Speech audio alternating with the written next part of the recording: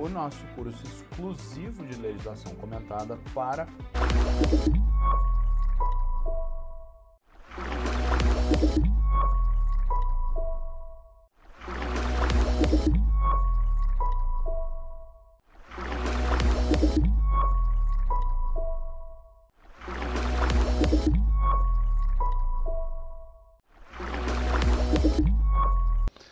Vamos lá? Bom dia, pessoal. Sejam todos bem-vindos virtualmente ao nosso canal do Estratégia Carreira Jurídica. Aqui quem vos fala é Leonardo Tavares, professor, então, do Estratégia Carreira Jurídica e também juiz criminal no estado do Paraná.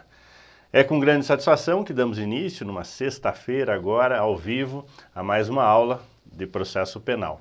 E uma aula que eu diria que é especial. Hoje nós vamos tratar do pacote anticrime, do juiz das garantias, todas essas disposições que vieram lá no final de 2019 e que mais recentemente foram enfrentadas pelo Supremo Tribunal Federal. Nós vamos ver como é que ficou isso e o que, que a gente pode trazer de informações para vocês. É, de, de certa forma, até para tranquilizar alguns alunos que estão bastante ansiosos em relação a esse tema. Porque o que, que acontece, né? E eu já aproveito para pedir aqui um feedback em relação à imagem, ao som, para ver se vocês estão me vendo e me ouvindo bem. O que, que acontece? Nós tivemos a decisão do Supremo, isso uh, foi final de agosto, terminou o julgamento, né? Só que até hoje, veja, nós estamos aqui no dia 15 de dezembro, até hoje não foi publicada a decisão. Não tem os votos, não tem nada. O que tem é a ata de julgamento, uma espécie de extrato, de síntese muito superficial em relação aos pontos que foram abordados, mas que deixa muita aresta, muita omissão em vários pontos, né? Tanto que existem alguns pontos que ninguém sabe ainda o que exatamente que o Supremo decidiu e quer com aquilo. Então, claro que isso gera um desafio para nós, professores de processo penal, não é à toa que se você procurar na internet o material que seja escrito, vai ter muita dificuldade de encontrar eh, esses temas né, em relação à decisão do Supremo, porque muita coisa vai girar em torno de especulação. Muita coisa eh, vai tratar de assuntos que o Supremo não deixou claro, não abordou e a gente não sabe muitas vezes por onde caminhar. Mas claro que o professor fez um apanhado de tudo isso, me dei ao trabalho de assistir, inclusive, os votos no YouTube, né, dos ministros, naquilo que era acessível, para tentar, de algum modo, consolidar as informações para vocês. Aliás, eu faço aqui mais um parênteses, né? Se vocês forem reparar, o nosso curso básico de processo penal no, no Estratégia, ele ainda não foi nem atualizado. Mas por que, que não foi atualizado? Não foi porque o professor Leonardo está fazendo como sempre fez. E como que eu sempre fiz? Eu espero a decisão ser publicada, o que de regra não demora muito, até para não ficar em especulações, até para ter uma base formal de trabalho, e aí eu atualizo o material.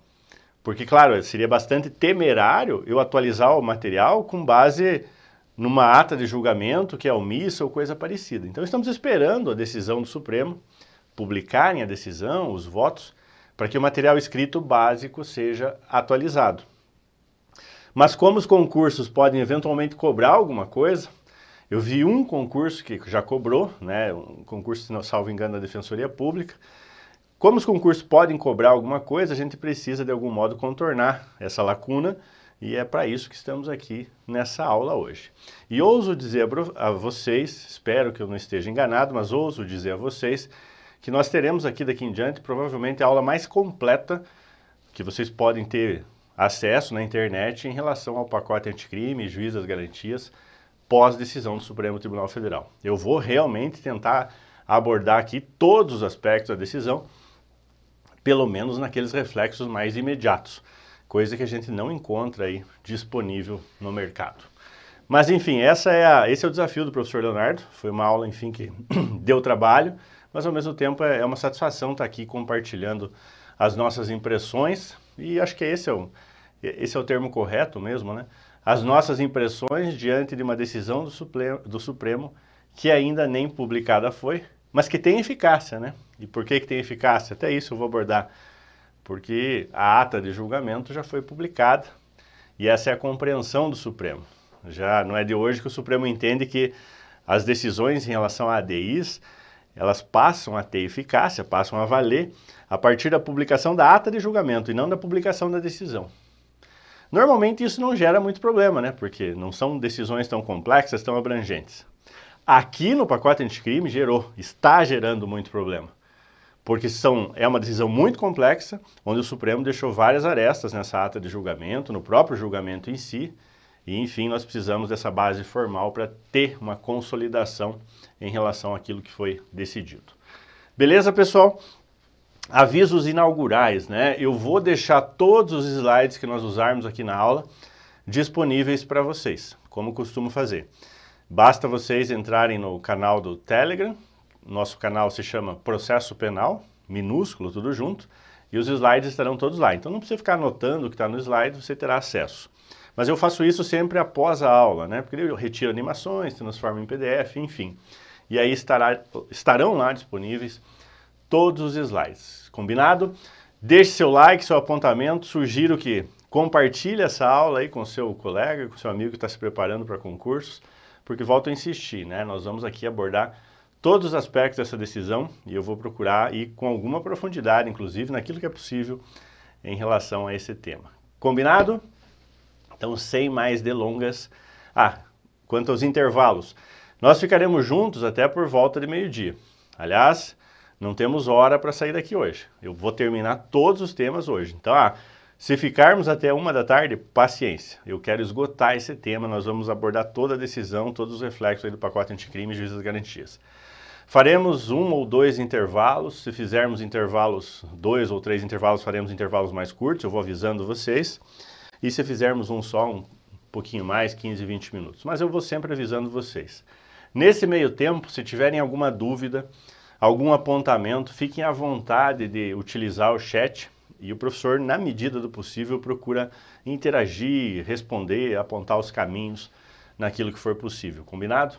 Esse é o nosso mecanismo aí de interação nessas aulas que são virtuais.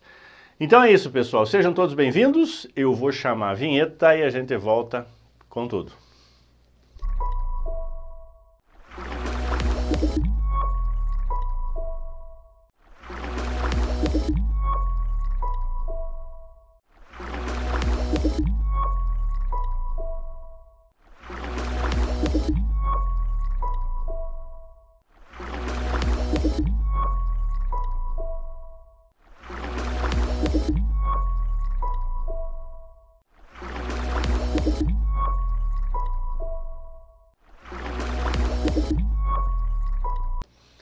Bora lá, meus amigos, a partir deste instante, vamos tratar do juiz das garantias e pacote anticrime após a decisão do Supremo Tribunal Federal.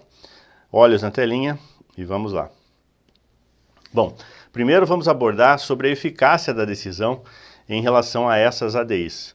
São quatro ADIs que o Supremo julgou e que na atualidade a gente tem que primeiro discutir o seguinte, afinal de contas, esse julgamento que ocorreu desde maio até agosto de 2023. Esse julgamento, na atualidade, tem eficácia ou não? Na medida em que, na, até a atualidade, a decisão ainda não foi publicada. Bom, e a resposta é positiva. Esse julgamento já tem aplicabilidade, já tem eficácia. Por que, que é assim? Porque não é de hoje que o Supremo Tribunal Federal tem dito que Vale a decisão em relação a essas ADIs a partir da publicação no Diário da, da Justiça da ata da sessão de julgamento, que não há necessidade de trânsito em julgado. Então, a partir do momento em que se publica a ata de julgamento, não a decisão, não os votos propriamente ditos, a ata de julgamento, a partir disso, já tem eficácia. Inclusive, a interposição de embargos de declaração não vai impedir a implementação dessa decisão. Aliás, e a propósito, é muito provável que essa decisão do Supremo tenha vários embargos de declaração, porque realmente a gente percebeu já nos julgamentos, nos, naquilo que foi falado, que muitos pontos eles não abordaram, foram omissos, é uma decisão muito abrangente. Nós estamos tratando aqui da talvez da maior alteração que o Código de Processo Penal, que o próprio processo penal teve após a Constituição de 88. E o Supremo, nesse caso, né, todo mundo reconhece, ele não foi só analisando a constitucionalidade, ele foi praticamente legislando em vários pontos. A gente vai ver isso com propriedade e com mais profundidade. Mas, enfim, a partir da publicação da ata da decisão, temos vários precedentes nesse sentido, já surte efeitos essa decisão, já está valendo, já pode ser cobrada no seu concurso e é por isso que a gente está aqui estudando tudo isso. E se nós formos olhar, a última ata de julgamento, ela foi publicada em 1 de setembro. Então, a partir daí, a gente pode seguramente dizer que aquilo que o Supremo decidiu, por mais que omissa a ata de julgamento em inúmeros pontos, aquilo que o Supremo decidiu estava, está valendo, ok? Então, esse é o ponto, por isso que nós estamos aqui abordando essa decisão.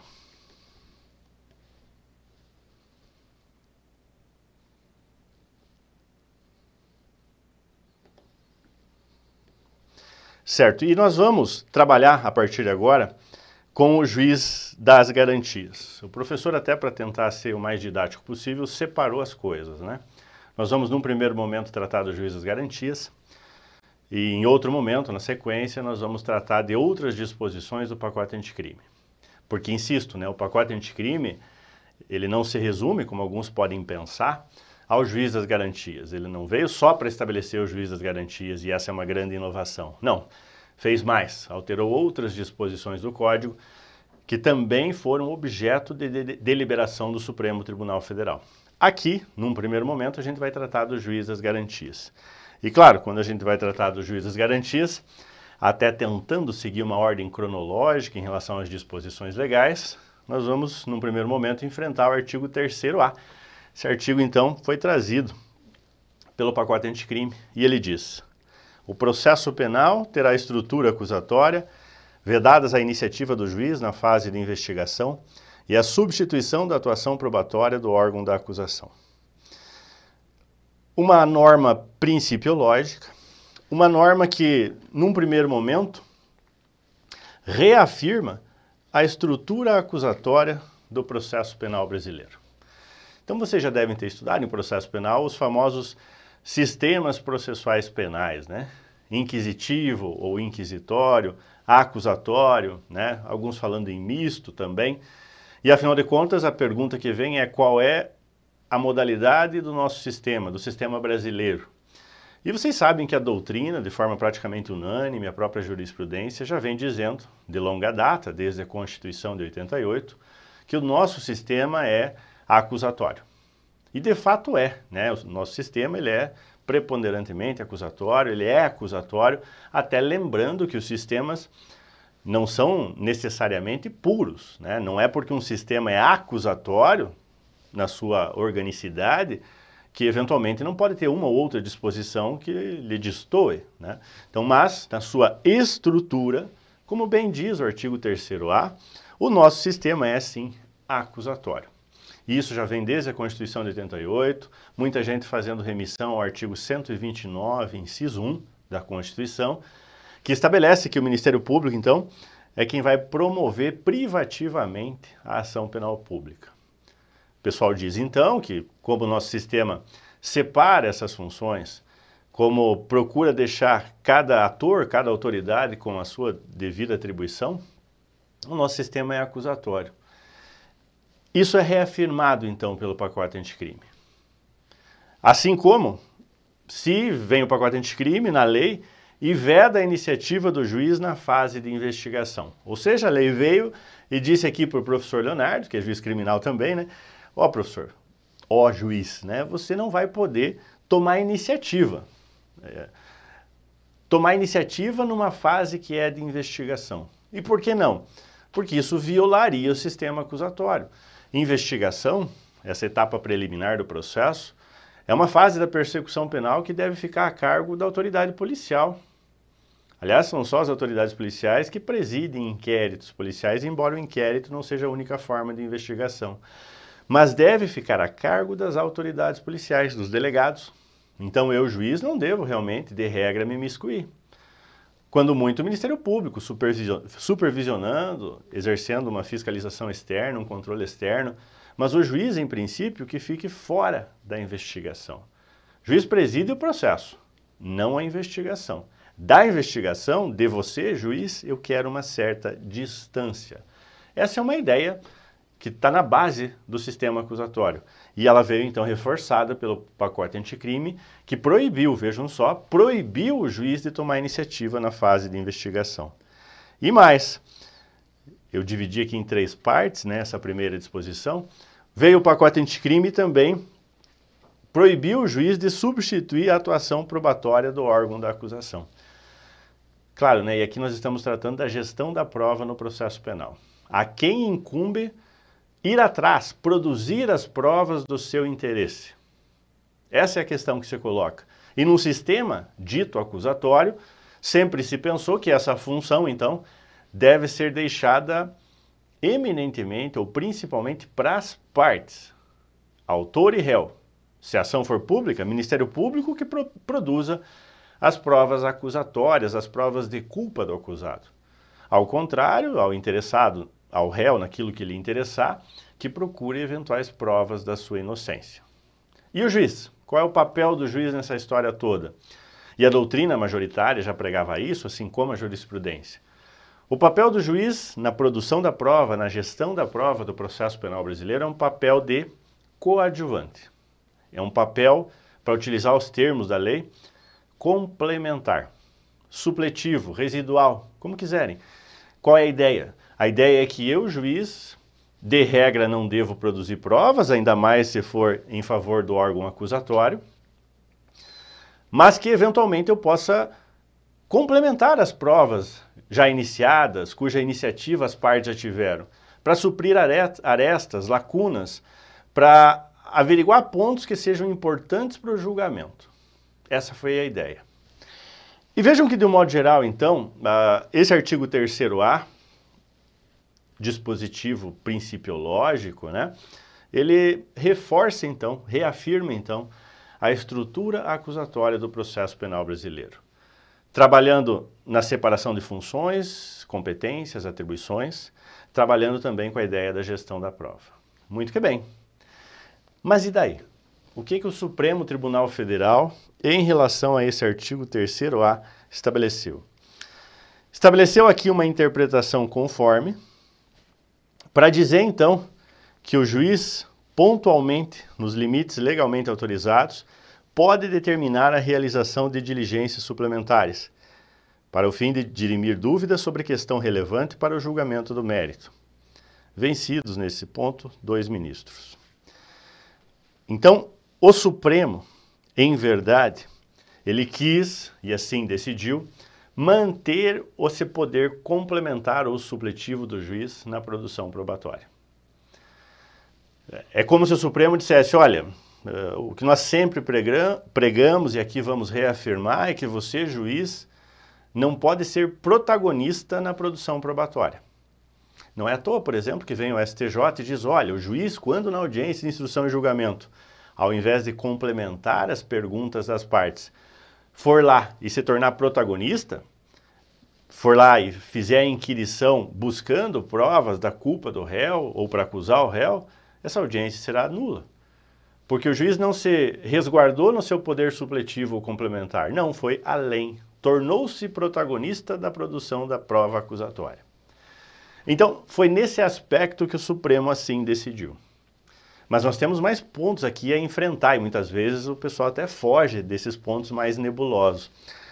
Porque eu poderia perguntar assim para vocês, né? Já que eu separei em três aqui à disposição, eu poderia perguntar assim para vocês, tá bom, mas e essa parte aqui, ó, que está sublinhada? O juiz está proibido, então, de tomar iniciativa na fase de investigação. Observando agora o que o Supremo decidiu, o juiz pode ou não pode, afinal de contas, tomar iniciativa na fase de investigação? De repente, até determinar diligências urgentes de ofício. Será que o juiz pode ou não pode isso? Bom, o Supremo não foi exatamente claro na sua deliberação. A ata de julgamento ainda não é clara nesse sentido, mas a impressão que nos dá é que sim, o Supremo ainda permite que o juiz tome algum tipo de iniciativa, claro que isso é extraordinário, é excepcional, mas ainda permite que o juiz tome algum tipo de iniciativa na fase de investigação. Porque uma das regras, uma das disposições que estavam em confronto com esse artigo 3A é justamente o artigo 156 do Código de Processo Penal. Porque ele, dentre outras, ele vai facultar ao juiz, inclusive de ofício, inciso 1, ordenar, mesmo antes de iniciar a ação penal, a produção antecipada de provas consideradas urgentes e relevantes, observando a necessidade, adequação e proporcionalidade da medida. Muita gente sustentando que pós-pacote anticrime, justamente por essa parte sublinhada, esse artigo 156, inciso 1, foi revogado. Afinal, ele está falando que o juiz pode tomar iniciativa, de ofício, né? E mesmo antes do processo, portanto, em fase de, ação, de inquérito, de investigação, para determinar a produção antecipada de provas.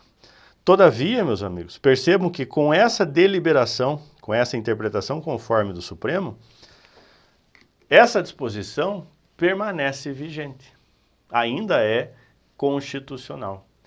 Porque o Supremo permitiu, pontualmente, nos limites legalmente autorizados, aqui é uma autorização, né? Aqui nós temos uma autorização, artigo 1561, pode determinar a realização de diligências suplementares para dirimir dúvidas sobre questão relevante para o julgamento de mérito. Veja que essa iniciativa que se reconheceu pelo Supremo ao juiz, ela não restringiu, né, não estabeleceu a fase da persecução penal, o que nos faz pensar que também se estende a fase de investigação. E agora alguns alunos podem estar de cabeça em pé e o professor Leonardo de repente está falando diferente do que muita gente está pregando. Professor, então você está dizendo que o juiz pode ir lá e tomar a iniciativa de ofício determinar a produção antecipada de provas no inquérito? Bom, deixa eu acalmá-los para dizer o seguinte. Com mais de duas décadas de magistratura, eu jamais fiz isso, por exemplo. Eu nunca fui lá no inquérito e tomei a iniciativa de determinar a produção de alguma prova, mesmo que urgente, na, nunca. Eu sempre esperei ser provocado. E quero crer que meus colegas ajam da mesma forma. Pelo menos eu nunca vi diferente. O que, eu estou dizendo com isso?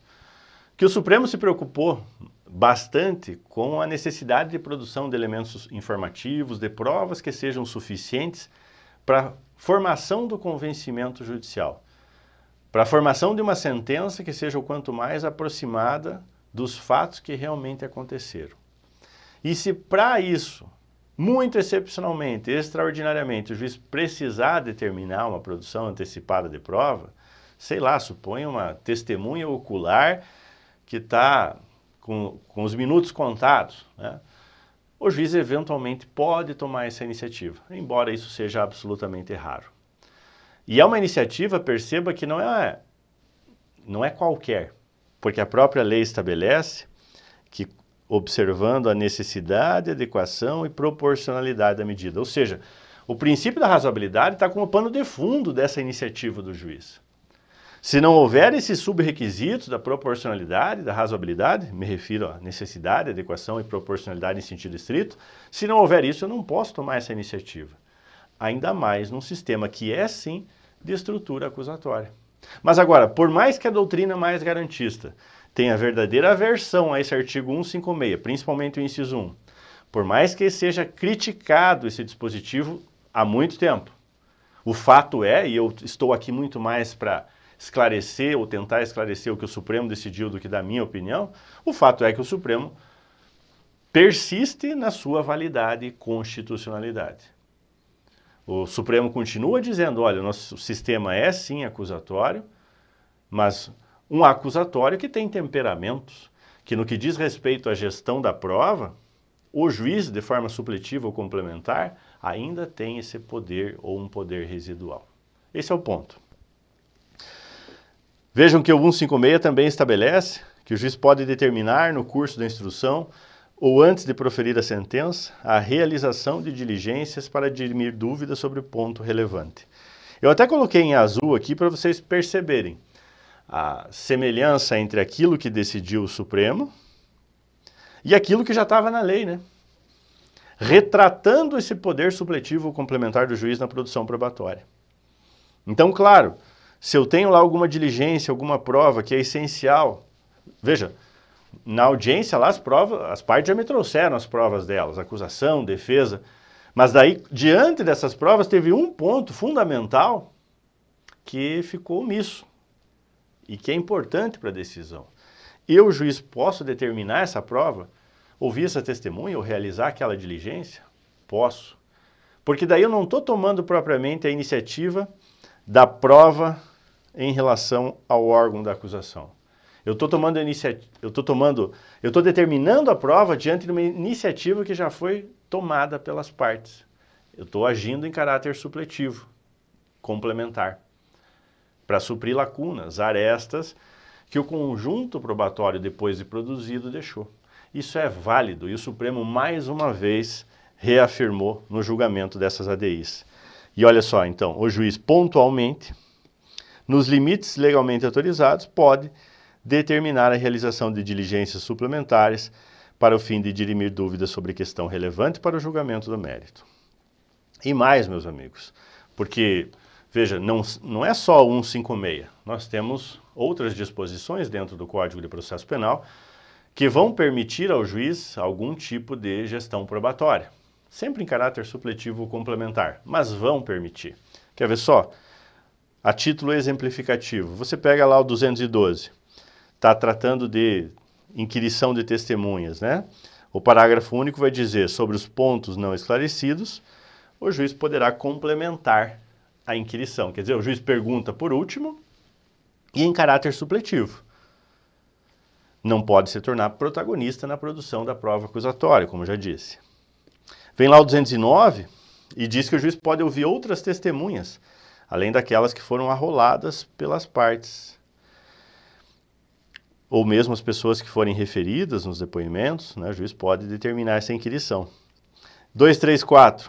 Mesmo sem requerimento, ou seja, de ofício, o juiz pode determinar a juntada de documentos. Né? Documentos que, de modo geral, podem ser juntados a qualquer tempo do processo, mas se é um documento importante, se as partes não o juntaram, não providenciaram esse documento, o juiz, em caráter supletivo ou complementar, pode fazer isso. Então, várias, vamos, tentar consolidar várias disposições do nosso código de longa data, nosso código de 41, de longa data permitem ao juiz o exercício de algum tipo de poder supletivo ou complementar na produção probatória.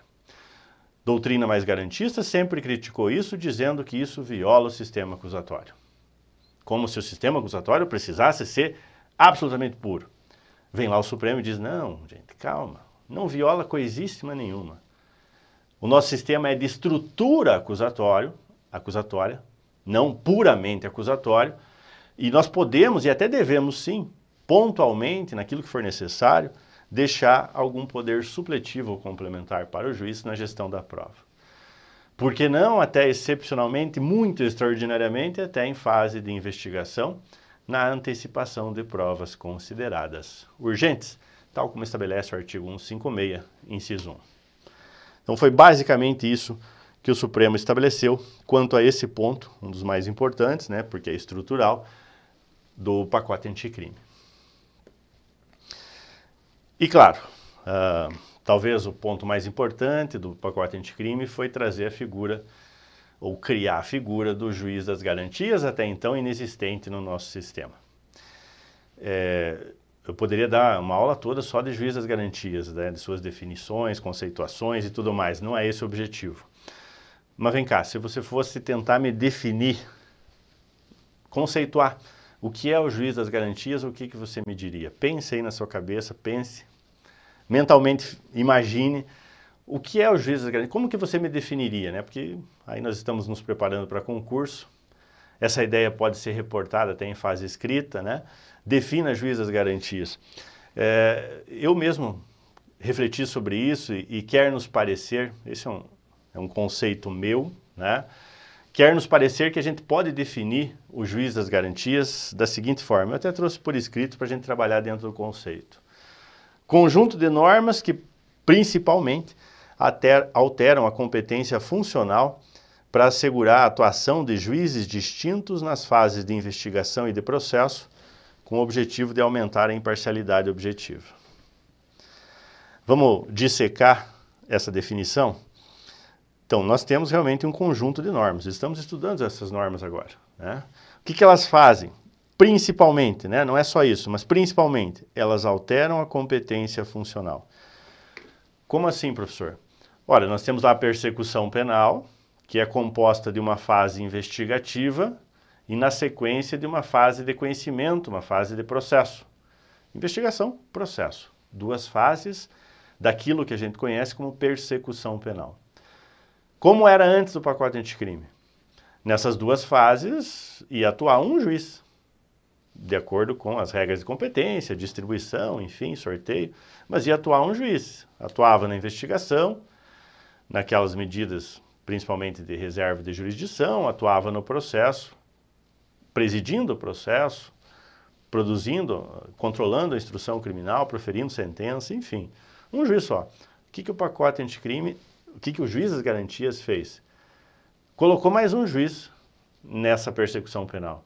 Um juiz próprio para a fase de investigação, fazendo que, com que haja um juiz próprio da fase de investigação e outro juiz que vai atuar na fase de processo. Então, vejam que aqui se alterou a competência funcional. Onde atuava um juiz, vai atuar outro. Onde atuava somente um juiz, vão atuar dois, melhor dizendo. Então, se alterou a competência funcional.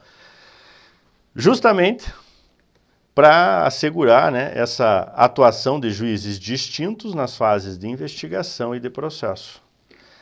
E por que que você fez isso?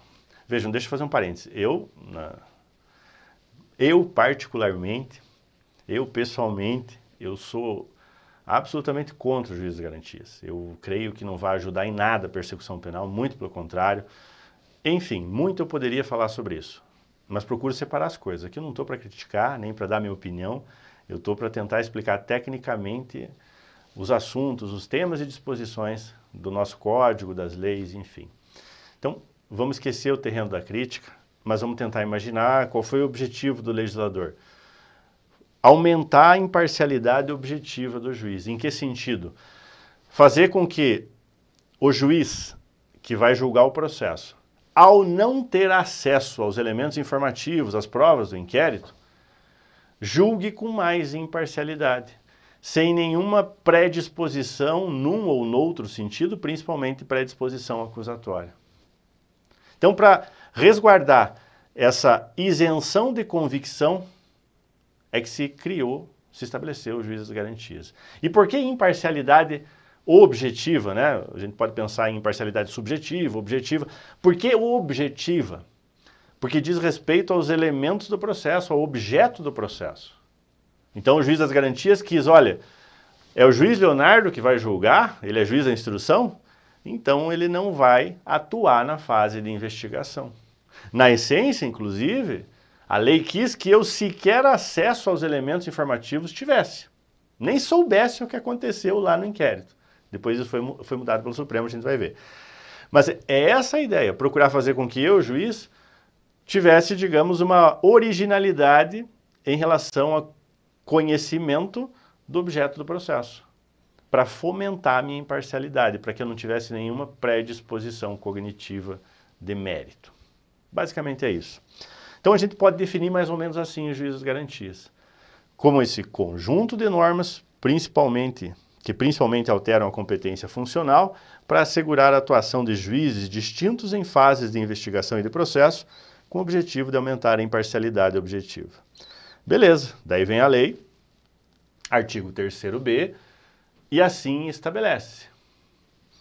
O juiz das garantias é o responsável pelo controle da legalidade da investigação criminal e pela salvaguarda dos direitos individuais, cuja franquia tenha sido reservada à autorização prévia do Poder Judiciário, competindo-lhe especialmente. E aí vem uma série de atribuições na sequência.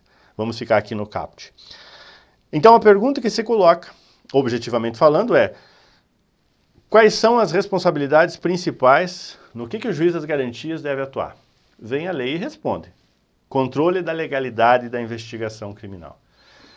Então, eu, juiz das garantias, sei que naquelas investigações que tramitam nos mais variados foros e sedes, eu sou responsável pelo controle da sua legalidade.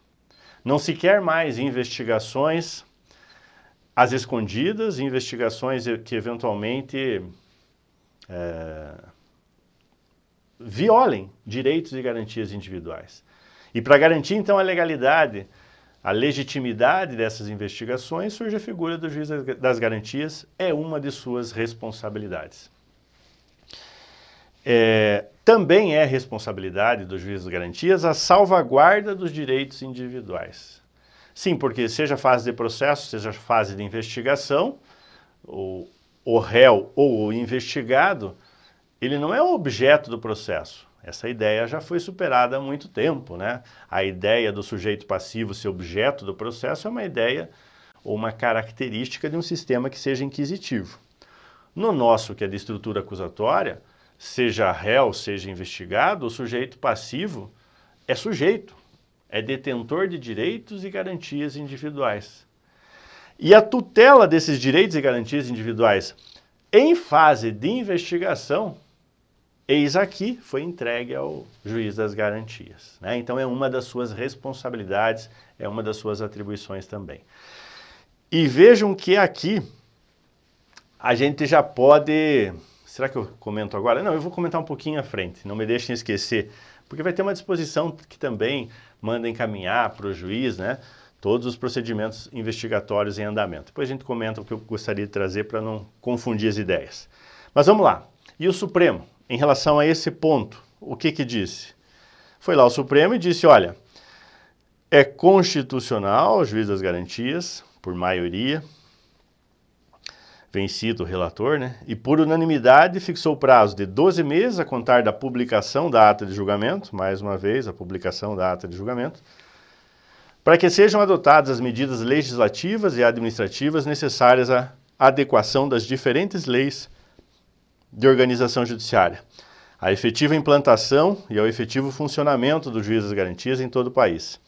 Tudo conforme as diretrizes do CNJ e sob a supervisão dele.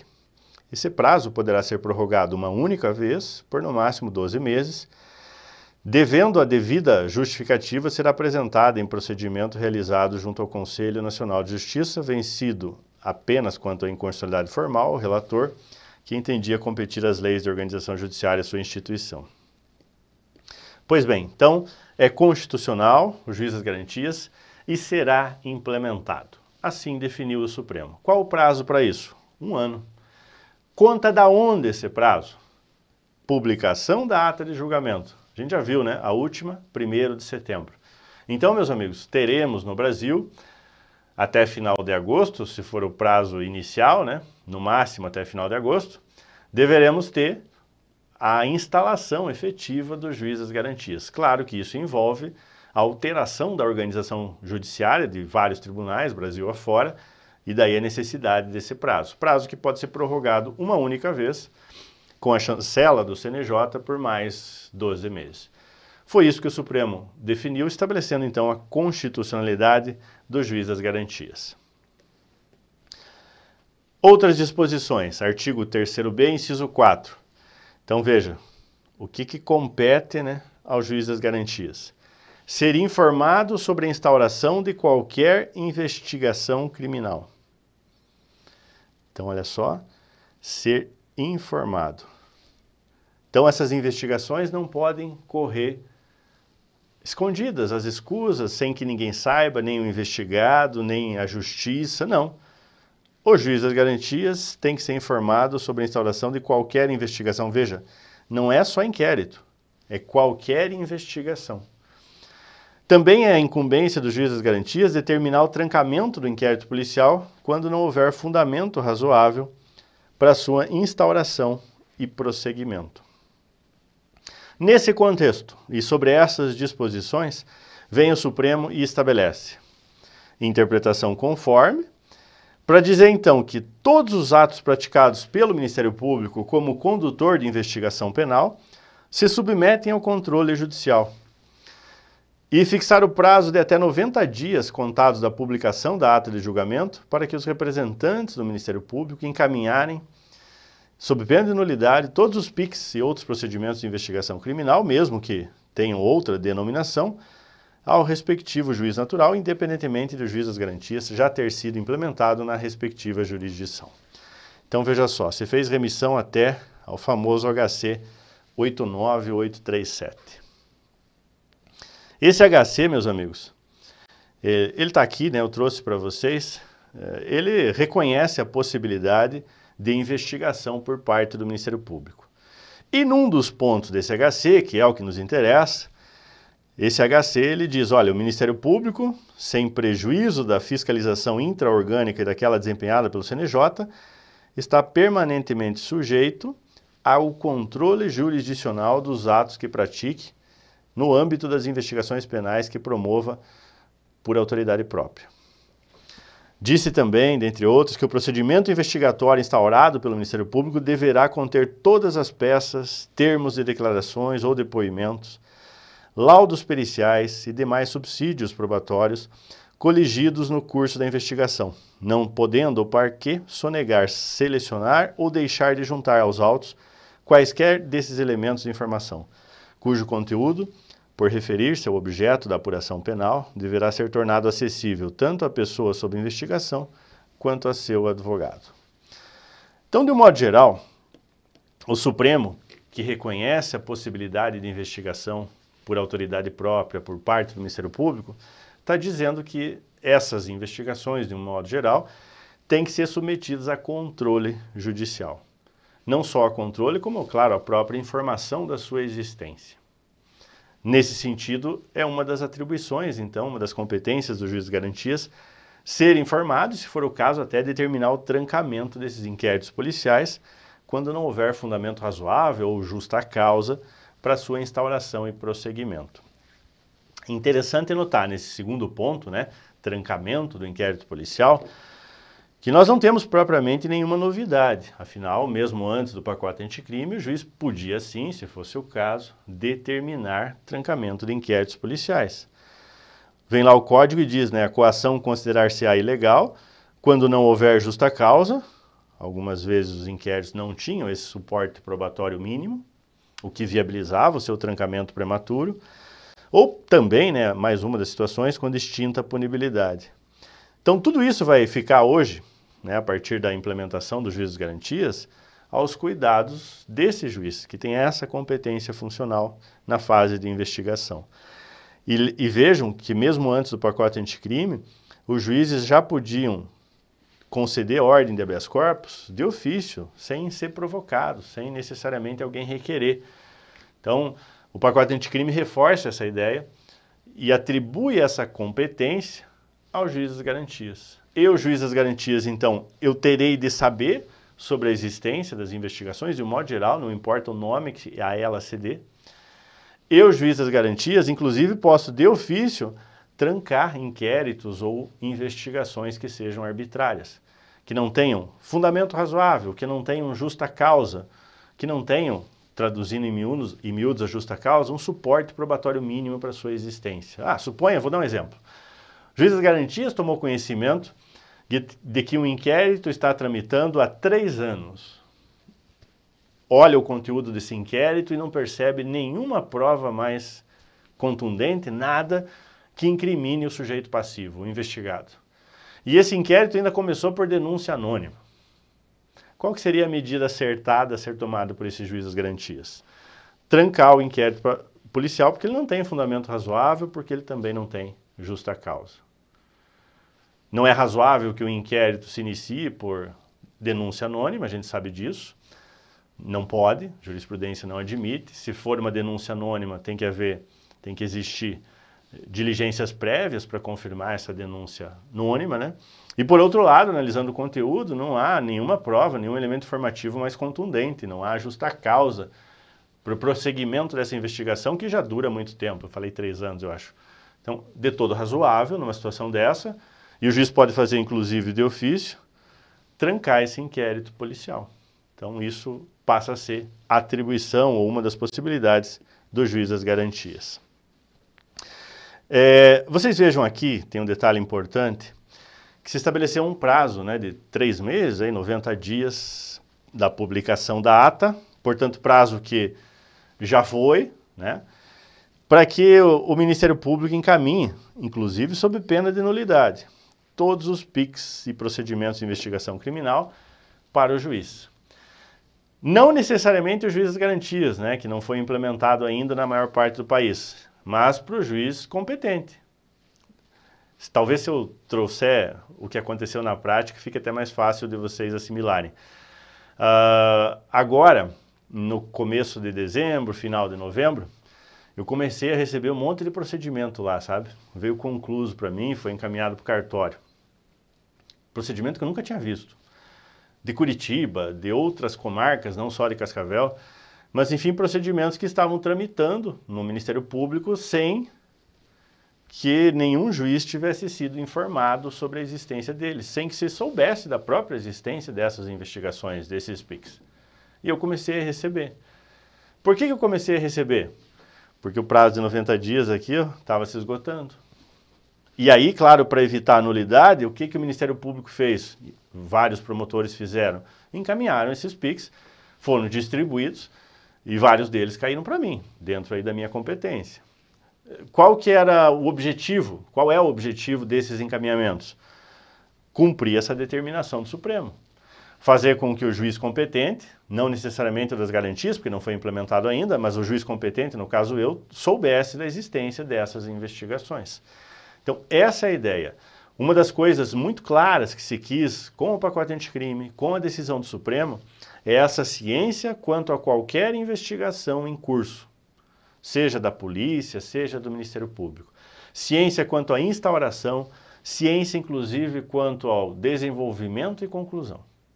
Foi isso que se quis nitidamente. Qual foi o meu despacho, né, para vocês entenderem? Olha, nem lembro os termos que eu usei, mas basicamente eu disse, olha, inquérito aqui, investigação aqui encaminhada nos termos da decisão do Supremo, estou ciente, né, retorno ao Ministério Público para as diligências que entender cabíveis. Ponto. Um despacho muito simples, porque esse encaminhamento só serviu para essa informação e para cumprir esse prazo aqui de submissão que o Supremo estabeleceu. É interessante notar o seguinte, né? Porque teve alguma, alguns encaminhamentos que vieram com requerimento. Alguns promotores, por exemplo, encaminharam e pediram, lembro de alguns casos, suspensão do curso da investigação para que fosse realizada essa ou aquela diligência. Teve outros que pediram suspensão da investigação para que haja tempo hábil de se, de, para se implementar o acordo de não persecução penal. Enfim, alguns desses encaminha, encaminhamentos vieram com requerimentos. Aí eu analisei, peraí, mas eu, juiz, vou determinar a suspensão de inquérito? Não importa o prazo, 30, 60, 90? Eu, juiz, vou determinar a suspensão do inquérito? Não. Né, então, o que, que eu consignei lá? Nem me lembro exatamente os termos, mas olha, essa não é uma incumbência do juiz. Se o Ministério Público quer suspender o, procedimento de investigação criminal, que o faça esponte própria, por iniciativa própria, sem necessidade de nenhum tipo de autorização ou chancela judicial. O que, que eu quero dizer com isso? E, essa ideia muitas vezes o pessoal não percebe. Que com a criação do juiz das garantias, de nenhum modo a lei quis ou o Supremo estabeleceu que o juiz das garantias se tornasse verdadeiro presidente ou condutor do inquérito ou das investigações criminais. Negativo, muito pelo contrário. O que se quis foi o necessário distanciamento para assegurar o sistema acusatório. Então eu, juiz, não devo dizer, olha, vai realizar essa ou aquela diligência, vou suspender agora o inquérito, não vou agora. Não. O inquérito continua e deve continuar, como se preconiza, por inúmeras regras de organização judiciária, país afora, tribunal afora, tramitando entre o Ministério Público e a polícia, sem a necessidade de intervenção do juiz. Porque o juiz continua devendo atuar no inquérito só, só, somente naquelas questões de reserva de jurisdição. Naquelas questões que, sem ordem judicial, não se consegue implementar a diligência ou a prova uma interceptação telefônica, uma busca e apreensão e assim vai. O controle da legalidade que se quer com o juiz das garantias não é um controle necessariamente voltado ao direcionamento ou presidência dessas investigações, muito pelo contrário. É um controle a certa distância. É um controle onde o juiz vai ser invocado, vai ser chamado, quando realmente estiver em xeque direitos e garantias individuais do investigado, cláusulas de reserva de jurisdição, arbitrariedades que devam ser tolhidas ou afastadas, percebe? Porque, porque senão nós vamos transformar o inquérito em verdadeiro processo conduzido pela autoridade judicial e não é isso, longe disso que se quis com a implementação do juiz das garantias. Certo. Outro ponto tratado então no pacote anticrime foi em relação a prazo de inquérito. E para a gente entender bem, a gente sempre tem que fazer um, um, um certo retrospecto, uma contextualização.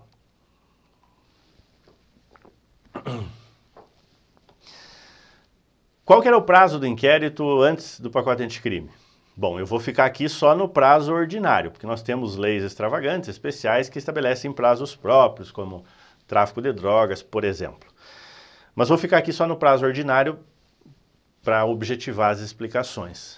E o prazo ordinário, a gente sabe, está lá no artigo 10, e aí a gente sabe então que o inquérito de investigado preso tem um prazo de conclusão de 10 dias, e o inquérito do investigado solto tem um prazo de conclusão de 30 dias. Também sabíamos que o prazo do inquérito do investigado solto poderia ser prorrogado, como estabelece o parágrafo 3 quantas vezes forem necessárias, né, para o cumprimento das diligências para a elucidação do caso. Então, esse era o sistema, essa era a regra ordinária quanto ao prazo de conclusão dos inquéritos. 10 dias para o preso, 30 dias para o investigado solto. Ok. O pacote anticrime inovou nisso. Porque veio lá e trouxe artigo 3º-B, inciso 8, parágrafo 2 que vão dizer o seguinte, dentre as incumbências né, e atribuições do juiz das garantias, prorrogar o prazo de duração do inquérito, estando o investigado preso, em vista das razões apresentadas pela autoridade policial e observado o parágrafo 2 Então veja, mesmo para o investigado preso, trouxe, inovou na possibilidade de se prorrogar o prazo de duração do inquérito. Qual que é o prazo de duração do inquérito do investigado preso? Mais uma vez, 10 dias. Tá, mas tudo isso observando o parágrafo 2 que diz o seguinte, se o investigado estiver preso, o juiz das garantias poderá, mediante representação da autoridade policial e ouvido o Ministério Público, prorrogar uma única vez a duração do inquérito, por até 15 dias, após o que, se ainda assim a investigação não for concluída, a prisão será imediatamente relaxada. Foi isso que a lei trouxe. E aí a gente pode concluir juntos, sem muita dificuldade, então, que é possível sim essa prorrogação, mesmo no caso do investigado preso, ou solto a gente já podia antes, né? Mesmo no caso do investigado preso, mas uma única vez e por 15 dias. E se nem assim der tempo de concluir o inquérito, o sujeito está lá preso ainda, diz a lei que a prisão seria imediatamente relaxada. A soltura seria automática, a ilegalidade seria automática. Assim dispunha a legislação do pacote anticrime. Eis que vem o Supremo Tribunal Federal, então, mais uma vez, e agora aqui estabelece. Por unanimidade, atribui interpretação conforme para assentar que a. O juiz pode decidir de forma fundamentada, reconhecendo a necessidade de novas prorrogações do inquérito, diante de elementos concretos e da complexidade da investigação. Então, novas prorrogações. Vocês entenderam por que, que eu risquei aqui uma única vez? Porque no fundo, no fundo, eles afastaram essa locução uma única vez pode haver novas prorrogações de inquérito de investigado preso.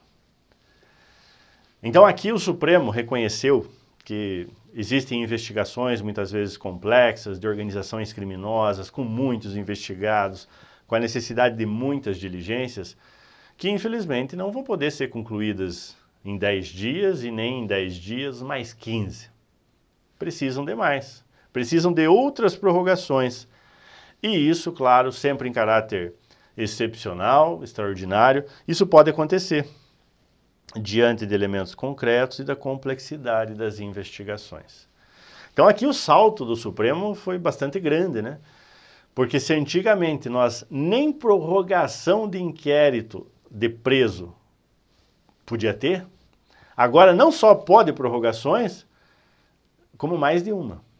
As que forem necessárias diante da complexidade dessas investigações e diligências. Professor, mas isso vai ter um fim? Alguns podem estar pensando, né? Eu já estou me colocando aqui na condição de, de advogado de defesa, né? O, o meu constituinte investigado está lá preso e o inquérito não é concluído e passou 15 dias e mais 15, mais 15. Até quando eu vou... Uh, o, o, meu constituinte vai poder ser submetido a esse constrangimento da prisão sem conclusão das investigações. A lei não estabelece, nem o Supremo estabeleceu. E aí nós ficamos dentro daquilo que também se cogita em relação a prisões provisórias, né? Até quando o sujeito pode ser, ficar preso preventivamente na persecução penal? Temos prazo de lei fixado para isso? Não, não temos, não temos. É, isso é objeto de crítica da doutrina e tal, mas não temos. E aí, como é que eu devo raciocinar? Razoabilidade, proporcionalidade. Verificando então se realmente é complexa a investigação, se as diligências estão sendo feitas de forma, como posso dizer, célere, né? se as diligências, se os órgãos de investigação não estão sendo omissos, deixando o tempo passar, se há alguma contribuição da defesa ou não atrapalhando essas investigações, postergando essas diligências. Então, é uma análise bastante abrangente para verificar se, no caso concreto, haverá ou não constrangimento ilegal, passível de atuação do juiz das garantias, até para efeito, então, de relaxar a prisão, né? reconhecer o constrangimento ilegal e relaxar a prisão por excesso de prazo. Mas é uma análise abrangente e casuística antes de mais nada, como se recomenda, inclusive, em relação a prisões preventivas de um modo geral. Mas o fato é que se permite, então, pela decisão do Supremo, novas prorrogações. E olha só que interessante, o Supremo também disse que a inobservância desse prazo não vai implicar a revogação automática da prisão preventiva, devendo o juízo competente ser instado a avaliar os motivos que a ensejaram nos termos da ADI 6581. Então aqui a gente percebe não só uma deliberação específica do Supremo, mas uma própria tendência da Corte. Eu sempre procuro fazer uma análise um pouco mais abrangente, assim, para a gente consolidar. Por que, que eu digo que é uma tendência da Corte? Porque eles fizeram remissão à ADI 6581.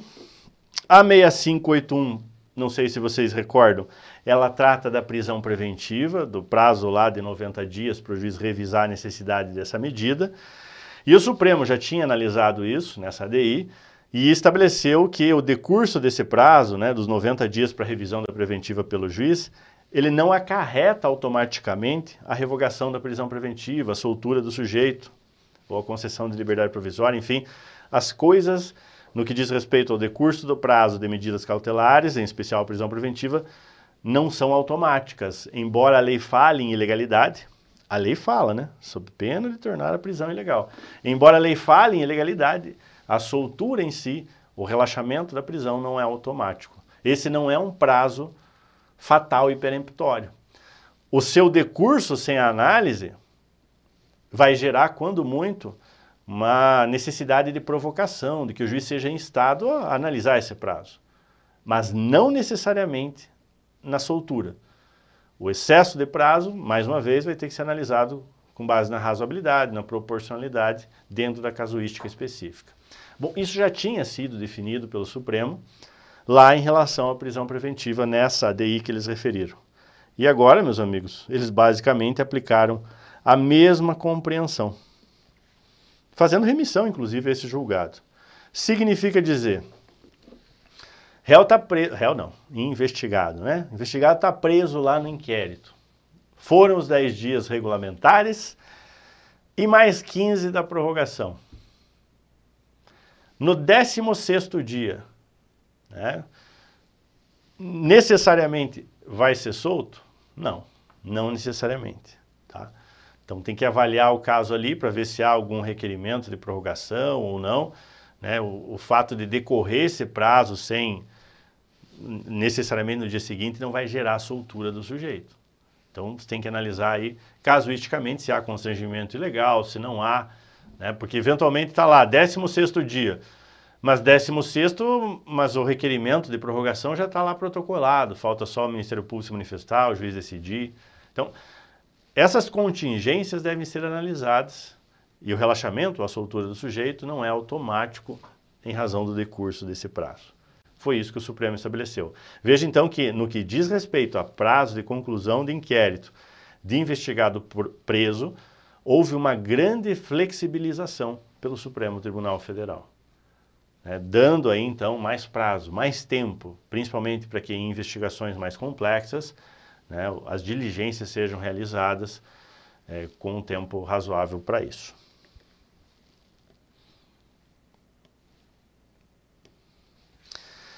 Outra disposição do juiz das garantias, artigo 3º-B, inciso 6, diz assim, então, dentre as atribuições ou competências do juiz das garantias, prorrogar a prisão provisória ou outra medida cautelar, bem como substituí-las ou revogá-las, assegurado, no primeiro caso, o exercício do contraditório em audiência pública e oral, na forma do disposto neste capítulo ou em legislação especial pertinente. O Supremo foi lá, e atribuiu interpreta interpretação conforme para dizer que o exercício do contraditório será preferencialmente em audiência pública e oral. E aí a gente olha para essa disposição e começa a pensar. Vamos pensar junto? Então aqui está dito, prorrogar a prisão provisória ou outra medida cautelar. Deixa eu perguntar para vocês. Medida cautelar diversa. Sei lá, um monitoramento eletrônico, recolhimento domiciliar, qualquer uma lá do 319. Tem prazo?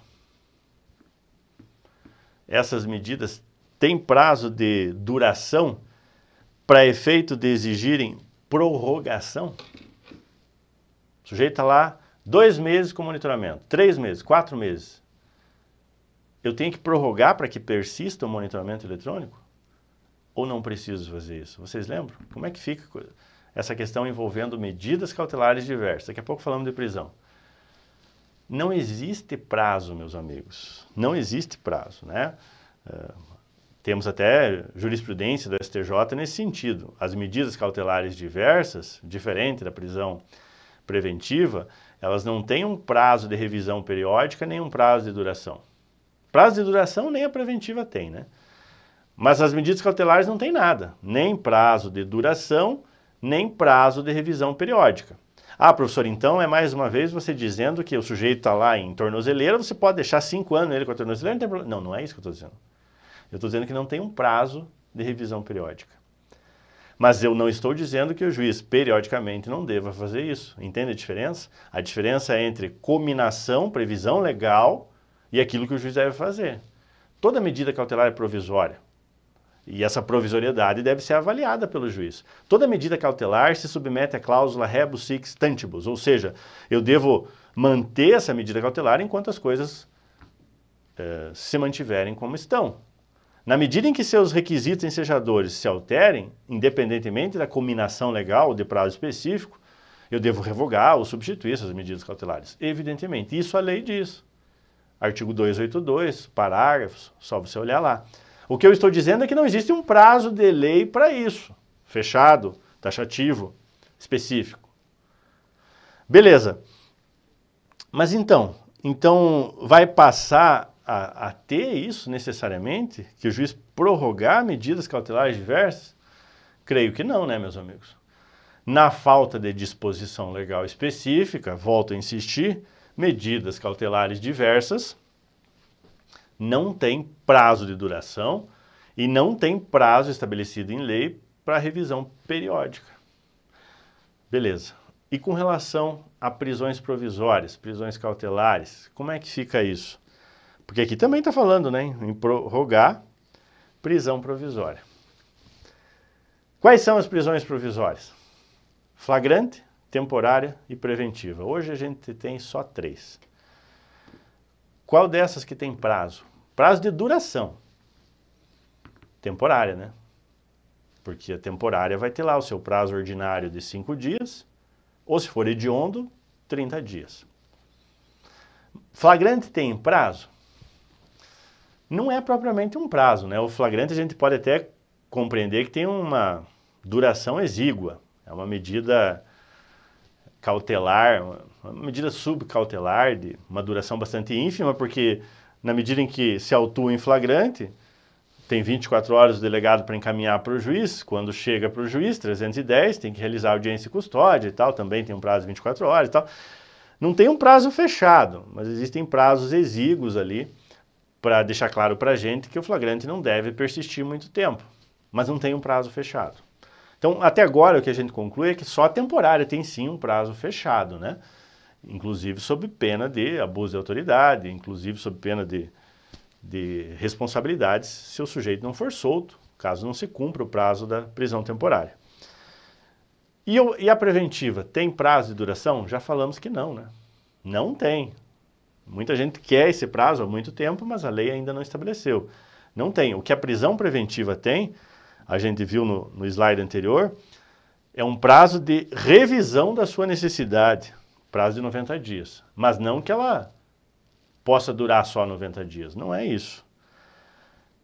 Ok, a gente verifica essas explicações pelas disposições legais pertinentes. Você pega lá a lei da temporária e está lá, né? Prazo de cinco dias. Pega o 316, acabei de mostrar, 90 dias para revisão periódica. Beleza. Como é que vai ficar isso agora com essa nova disposição do terceiro B? Bom, quanto à medida cautelar, volto a dizer, não vejo por que, né, a cada X dias, revisar isso. Não há uma previsão legal nesse sentido. A não ser que haja um requerimento específico, não há por que o juiz analisar isso é, num prazo determinado, num período específico. Quanto à prorrogação de prisão provisória, isso vai se implementar muito em relação à temporária, né? Então, o sujeito está lá, suponha, num crime de onda, 30 dias preso.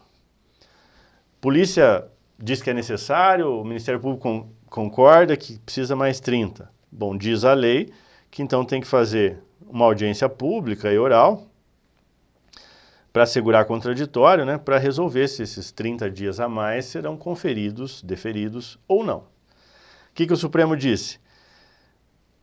Que é, não há necessidade especificamente dessa audiência. Né? Se for possível, faz audiência pública e oral para decidir, mas só preferencialmente, ou seja, excepcionalmente o juiz pode dispensar essa audiência. É, até para não burocratizar demais pedidos de prorrogações de medidas cautelares, que tem como pano de fundo a urgência, né, o perigo.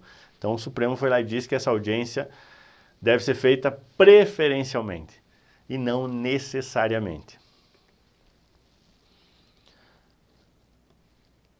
Olha só o precedente do STJ que havia referido, né? Não há disposição legal que restrinja o prazo das medidas cautelares diversas da prisão as quais podem perdurar enquanto presentes os requisitos do artigo 282, devidamente observadas as peculiaridades do caso e do agente. Então veja, a, a grande, a, o grande viés de aplicação aqui dessa disposição é em relação à prisão temporária, essa modalidade de prisão provisória. No que diz respeito à preventiva, imagino que isso deva ser observado só se passarem mais de 90 dias, né? O que convenhamos, não é o que se espera numa investigação, que tem um prazo de 10, prorrogável por mais 15. Mas se acontecer, se o sujeito estiver preso há mais de 90 dias, penso que também a prisão preventiva deva se submeter a essa disposição. Sempre lembrando que se deve assegurar contraditório, mas não necessariamente em audiência, e sim preferencialmente. Também está, dentre as atribuições e competências do juiz das garantias, decidir sobre requerimento de produção antecipada de provas consideradas urgentes e não repetíveis, assegurados contraditório e ampla defesa, mais uma vez em audiência pública e oral. Então, produção antecipada de provas urgentes. Não é de hoje que a nossa lei prevê isso, né? O próprio artigo 156, inciso 1, que a gente viu, estabelece essa possibilidade. O que, que o Supremo disse nesse ponto? Interpretação conforme, para estabelecer que o juiz pode deixar de realizar a audiência quando houver risco para o processo ou diferi-la em caso de necessidade. Então, mais uma vez, dispensando a audiência quando houver risco para o processo ou deixando para depois a audiência em caso de necessidade. Então, imagine uma medida, né? Testemunha está prestes a falecer, o juiz tem que tomar, o juiz não, né? A autoridade policial precisa tomar o seu depoimento. Ora, o juiz pode determinar a produção antecipada dessa prova. Normalmente, quando se determina a produção antecipada de prova, se faz, na medida do possível, já com contraditório, já com ampla defesa, com, com, enfim, a presença de advogado e tudo mais. Claro que conforme a prova, né, essa medida pode ser bastante urgente, né, e às vezes não vai comportar realizar uma audiência pública e oral para ouvir as partes, para depois decidir por, sobre isso. Então, o Supremo desburocratizou, né, mais uma vez disse que a audiência não é fundamental, não é necessária, embora recomendável, né, e ela pode ser dispensada em caso de risco para o processo, ou pode esse contraditório e essa ampla defesa pode ser deixado para depois, diferidos, né, se eventualmente houver necessidade na situação.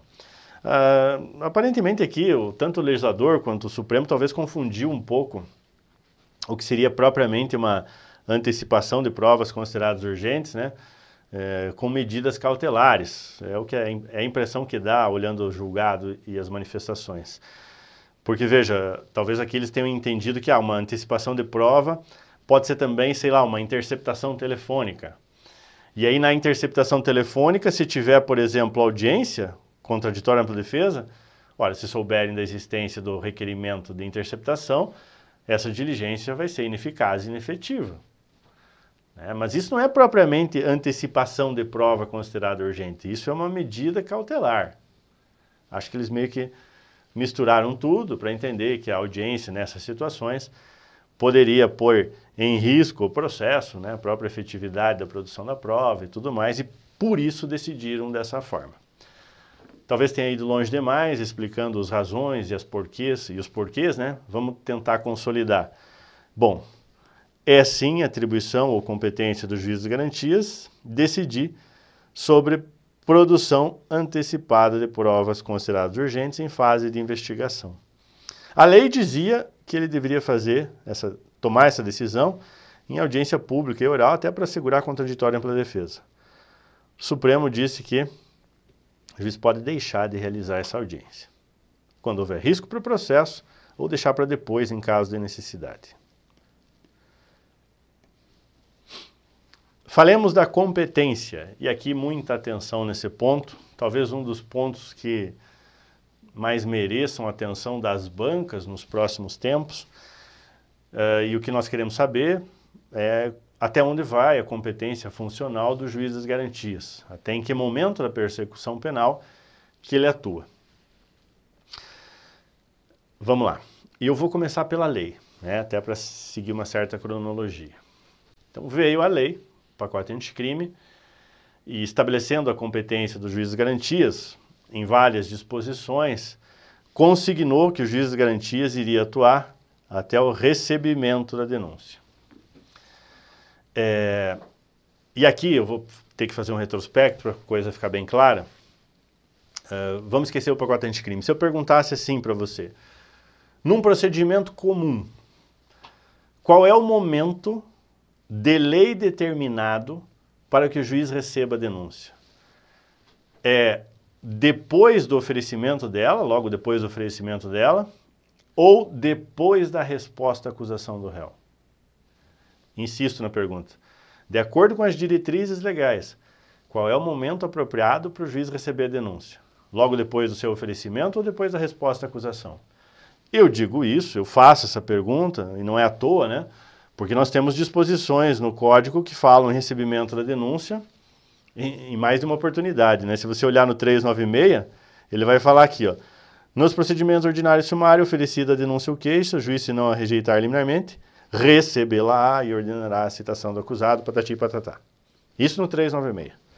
Vem lá o 399 e diz, recebida a denúncia ou a queixa, e isso aqui é após a resposta à acusação, o juiz vai designar a audiência a nossa lei, percebam uma certa impropriedade em dois dispositivos diferentes e em momentos distintos da, do processo, vai falar em recebimento da denúncia. fala primeiro no 396, após o oferecimento, fala no 399, que está falando de designar audiência, portanto, depois da resposta à acusação. E aí, quando vieram essas disposições, já nas reformas anteriores, já surgiu a dúvida, né? Mas espera aí, que trem o legislador está querendo estabelecer? Ele quer que receba a denúncia logo depois que ela é oferecida ou ele quer que receba a denúncia depois da resposta à acusação e daí o juiz já marca a audiência? Muito se discutiu sobre isso e tal, eu vou fugir de todo esse retrospecto histórico para consolidar o entendimento que tem, uh, que é mais forte nos últimos tempos, que tem se consolidado. Qual que é o entendimento hoje em dia? O entendimento é que, de acordo com as diretrizes legais, a denúncia deve sim ser recebida nos termos do 396. Ou seja, o juiz vai receber no procedimento comum logo depois que ela é oferecida. Todavia, até para que o 399 não fique no vazio, se compreende hoje em dia que o recebimento da denúncia se dá numa espécie de juízo progressivo. Ou seja, o juiz recebe provisoriamente, logo depois que a acusação é oferecida, e o juiz confirma esse recebimento após a manifestação do acusado. Já caiu até em concurso, né? Hoje o nosso sistema trabalha com a ideia do juízo progressivo de admissibilidade da acusação. Por que, que é assim? Porque o juiz recebe num primeiro momento, após o oferecimento, e meio que confirma, quando não faz absolvição sumária, quando designa a audiência, após a resposta à acusação nos termos do 399. Esse é o juízo progressivo de admissibilidade da acusação. Tá bom. Até agora era o que tínhamos, né? E o pacote anticrime vem então e estabelece o quê? Que a competência do juiz das garantias ela vai se dar, ela cessa né, com o recebimento da denúncia. Várias disposições dizendo isso, e até o artigo 3º-C, fazendo remissão ao 399. Diante dessa remissão, diante do que se estabelece aqui, qual que é a compreensão que se tinha antes da decisão do Supremo? Então, o juiz das garantias vai atuar até depois da resposta à acusação do acusado. Então, quando ele for designar audiência de instrução e julgamento, confirmando o recebimento da denúncia, é que ele vai mandar o caso para o juiz da instrução e julgamento. Então, veja a amplitude de atuação pela lei do juiz das garantias. A sua competência funcional bastante grande, já dando os primeiros passos dentro do próprio processo, dentro da, da própria ação penal. Como assim, professor? Dentro da própria ação penal? Sim, né? Porque se a gente for lembrar, o processo ele começa com o recebimento da denúncia e ele se completa com a citação do réu. Então eu tinha trazido aqui, né? 363. O processo se completa com a citação do réu. Então veja que, o, pela lei, o juiz das garantias ia dar os primeiros passos até dentro do processo, confirmando o recebimento da denúncia na fase do 399, a que fez remissão ao artigo 3º-C. Uma competência funcional bastante dilargada, enfim. Uh, por que, que era assim? Por que, que o legislador estabeleceu dessa forma? Porque o legislador não queria, pelas disposições legais, que o juiz do processo, o juiz da instrução e julgamento, tivesse acesso aos elementos informativos. Então, claro, para não ter acesso, quem vai receber a denúncia e até confirmar o seu recebimento vai ser o juiz das garantias. Porque, claro, quando eu vou receber uma denúncia, para eu saber se eu recebo ou não, eu tenho que ver se tem, dentre outras coisas, justa causa, né? Para ver se eu vou ah, receber ou não. Para eu saber se tem justa causa, eu tenho que analisar o conteúdo do inquérito, das investigações. O legislador não queria isso. Não queria, então, que esse acesso. O objetivo é aumentar a imparcialidade objetiva, né? Lembre. Então, por isso essas disposições. Foi lá o Supremo. E o que, que estabeleceu? Inconstitucionalidade do inciso 14 do artigo 3º-B, tatati, tatatá, para assentar que a competência do juiz das garantias cessa com o oferecimento da denúncia. É, e a mesma ideia foi é, reproduzida em outras disposições, né? Então, competência do juiz das garantias cessa com o oferecimento da denúncia, não é recebimento. Foi por isso que eu risquei aqui, né? Onde está escrito recebimento, leia-se oferecimento. Tem mais disposições nesse sentido, né? Parágrafo primeiro, terceiro C, ó, fala em recebida. Parágrafo segundo, também fala em recebida. Enfim, aonde está escrito recebida, leia-se sempre oferecida a denúncia ou queixa, né? Pode ser uma ação penal privada. Então, qual que é a ideia agora sedimentada pelo Supremo com essas decisões? Juiz das garantias acompanha as investigações, de modo geral, inquéritos, se for o caso. No momento em que o Ministério Público apresentar, oferecer a denúncia, ou se for uma queixa-crime, a vítima apresentar a queixa-crime, o juiz das garantias deixa de atuar. Manda o caso para o juiz da instrução e julgamento. Vai ser outro juiz que vai analisar o recebimento ou a rejeição dessa peça acusatória. Sim, né? Porque ele pode rejeitar também, 395, mas vai ser outro juiz. Então o Supremo diminuiu a competência funcional do juiz das garantias. Se antes ia, até para depois do recebimento, confirmação do recebimento da denúncia 399, agora, pela decisão do Supremo, restringe-se, vai até o oferecimento. Então, o juiz das garantias não vai atuar nos primeiros passos do processo penal. Não, vai ficar adstrito à investigação, limitado à investigação.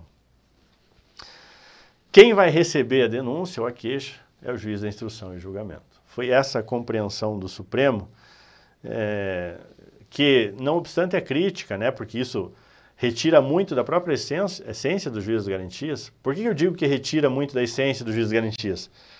Porque o que o juiz das garantias queria é que o juiz do processo, o juiz da instrução de julgamento, não tivesse acesso ao conteúdo da investigação. Tem até outra disposição que vai falar isso, a gente vai ver. Quando o Supremo estabelece que quem vai receber a denúncia é o juiz do processo, para receber a denúncia tem que ter acesso aos elementos informativos. Com isso, a imparcialidade objetiva, que é o que se pretendia, né, ela fica em xeque, fica, enfim, em segundo plano. Então, o Supremo descaracterizou em boa medida o juiz das garantias, pelo menos nas suas finalidades, né, quando estabelece dessa forma, mas foi assim que ficou consignado. É interessante também notar é, que, olha só, o terceiro diz que as questões pendentes serão decididas pelo juiz da instrução e julgamento. Então, claro, se tiver ainda diligências a serem realizadas, alguma deliberação a ser tomada a partir do oferecimento da denúncia, isso será incumbência do juiz da instrução e julgamento. E o parágrafo segundo diz que tem 10 dias o juiz para re reexaminar a necessidade de medidas cautelares em curso. Então, veja, a partir do momento em que é oferecida a denúncia, o juiz do processo vai ter que analisar medidas cautelares em curso, num prazo de 10 dias. Qual que é, o, às vezes, o problema prático disso? É que, por vezes, nós temos investigações bastante complexas, né? Que duram lá tempos, anos até. Volumes e volumes de documentos. E de uma hora para outra pode vir a denúncia, de 50, 100 laudas e existem várias medidas cautelares em andamento. O juiz do processo vai ter exíguos 10 dias para analisar e tudo isso. Nunca teve contato com nada, não sabe nem o que está acontecendo. Vai ter que ler de cabo a rabo, entender o que está acontecendo e num prazo exíguo de 10 dias se manifestar sobre a necessidade aí de, de medidas cautelares em curso. É essa a disposição legal. Artigo 3º-C estabelece a competência do juiz das garantias abrange todas as infrações penais, exceto as de menor potencial ofensivo. Então vejam só. Essas regras, esse conjunto de regras de competências funcionais que criam o juiz das garantias, que fazem com que haja necessidade de que um juiz cuide só da investigação, não vão se aplicar para todos os crimes própria lei restringiu em relação aos crimes de menor potencial ofensivo. Por que será? Você já parou para pensar por que, que tiraram infrações de menor potencial ofensivo, crimes e contravenções, né, crimes com pena de até dois anos, por que, que tiraram essas infrações do juiz das garantias? Bom, eu acho que aqui tem toda a lógica do mundo, né? Primeiro porque não tem investigação propriamente dita. Quando eu estou falando de infrações de menor potencial ofensivo, lembrem, eu tenho, iniciando lá a questão, termos circunstanciados. De regra, não há investigações. Eu tenho apenas termos circunstanciados, que nada mais são do que documentos que reproduzem basicamente o fato, né?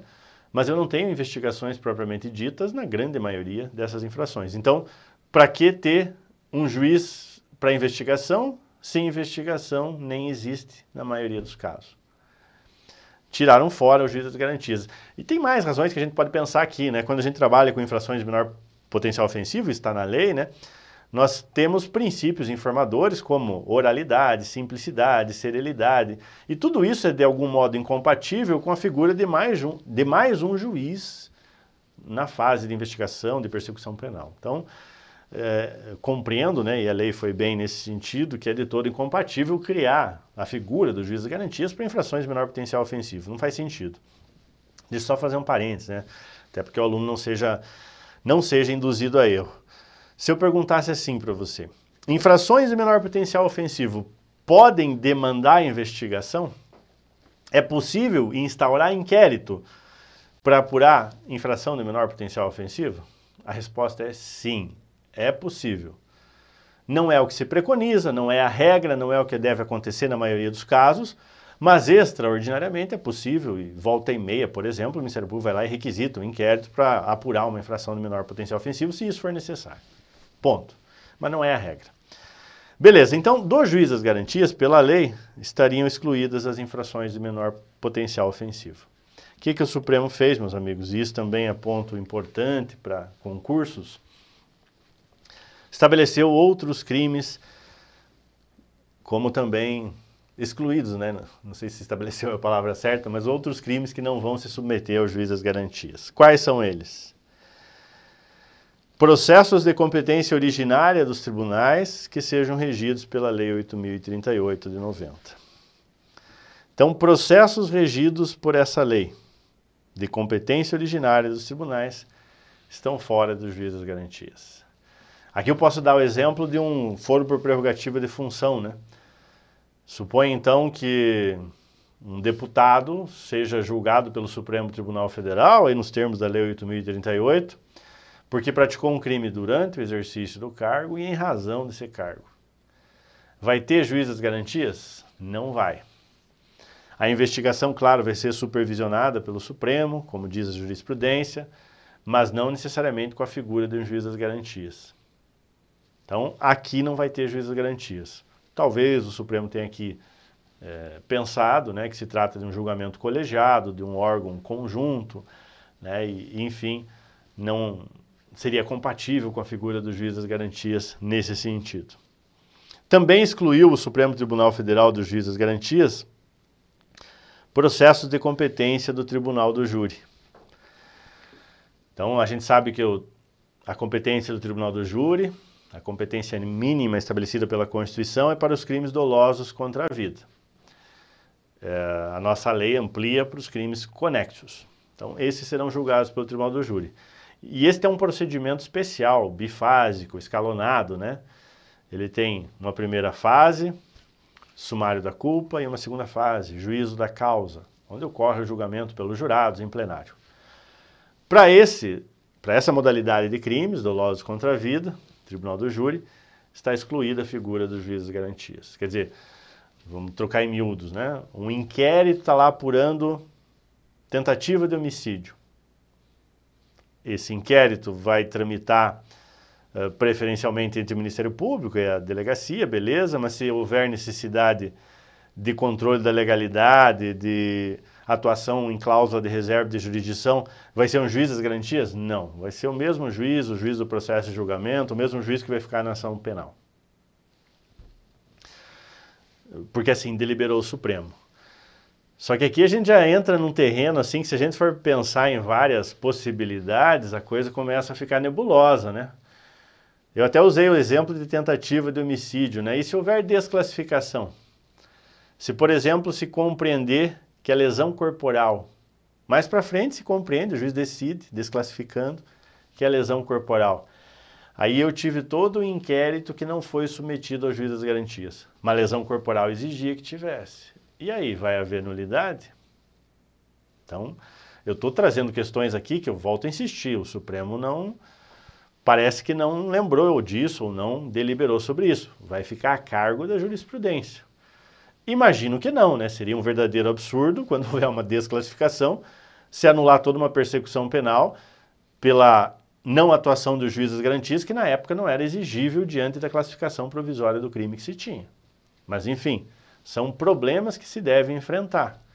E lembrem que a desclassificação pode ocorrer em mais de um momento. Né? Então, enfim, uh, isso pode gerar alguns problemas. Está lá a investigação, vamos imaginar, um inquérito recém-instaurado, e ainda não se sabe se é latrocínio ou se é homicídio consumado.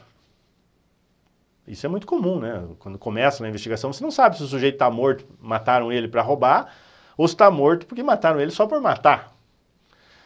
E aí, se houver dúvida, juiz das garantias, porque latrocínio vai exigir, exigir juiz garantias, homicídio não. Juiz das garantias vai atuar ou não? Quer dizer, vai criar imbróglios em relação a definições de competências funcionais já na fase de investigação. Claro, né? não que esses, esses problemas não existam já, em alguma medida, nessas situações de competência de modo geral, mas vai se antecipar esses problemas, digamos assim, para uma fase muito prematura da investigação. Também o Supremo excluiu do juiz das garantias violência doméstica e familiar. Então, Lei Maria da Penha, crimes de violência doméstica estão excluídos da figura do juiz das garantias. Aqui o que o Supremo quis foi mais celeridade, efetividade, né? não, não que eu concorde com essas razões, mas é, foi o que se quis e por isso excluí Maria da Penha. Né?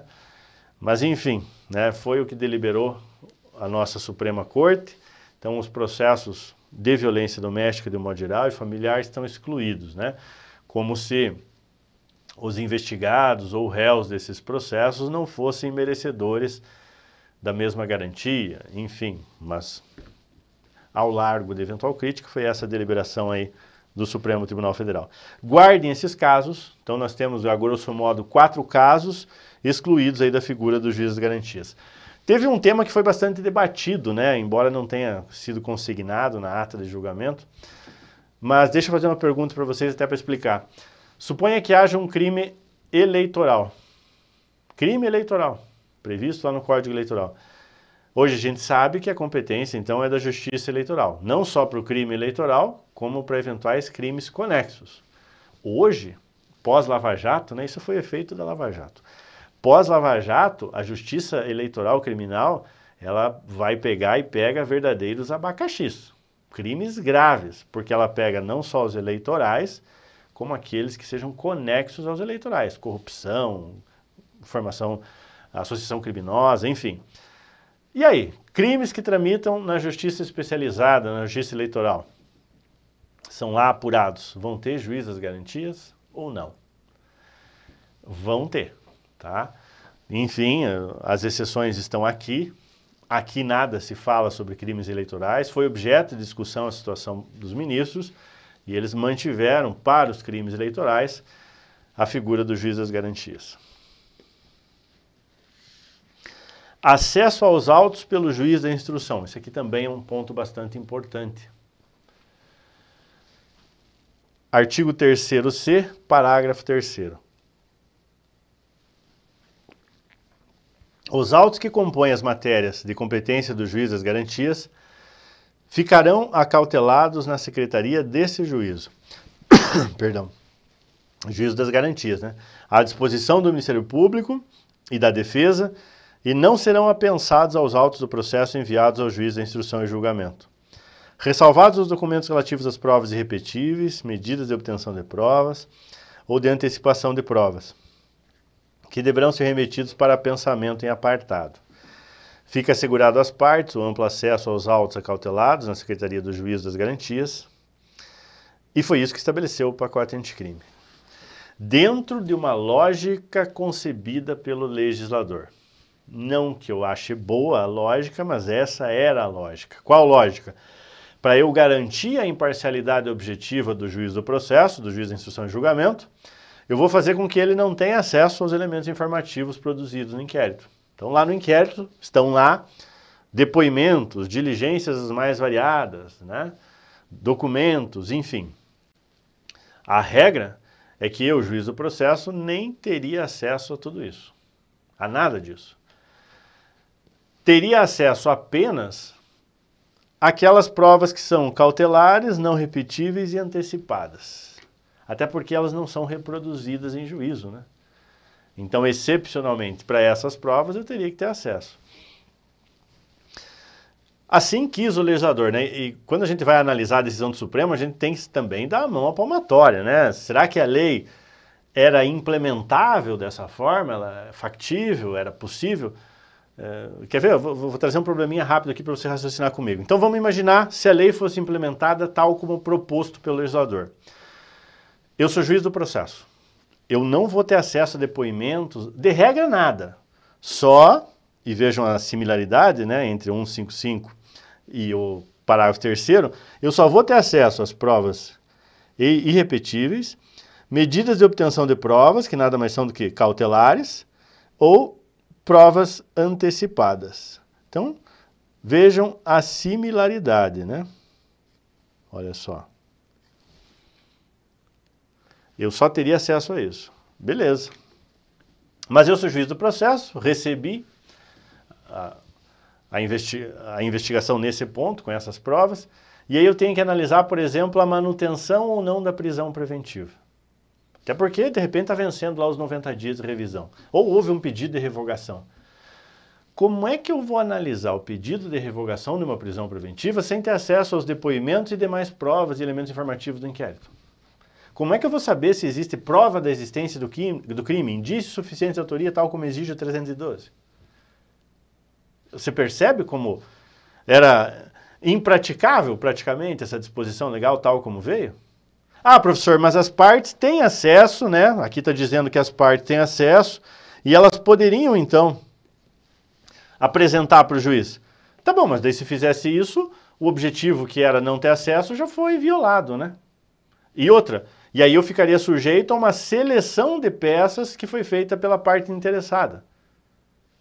Então, muito difícil de implementar isso na prática. Né? É, é, é, tamanha a gana do legislador e da doutrina mais garantista por essa imparcialidade que muitas vezes eles não conseguem nem pensar, raciocinar empiricamente sobre o, aquilo que é factível ou não é. Então é muito difícil, eu não vejo nem como se implementar uma situação dessa. E mais, parênteses, né? É difícil não fazer crítica, mas volta e meia escapa. Onde é que estão com a cabeça para pensar que um julgamento, uma sentença será melhor com menos conhecimento do que se foi produzido na persecução penal.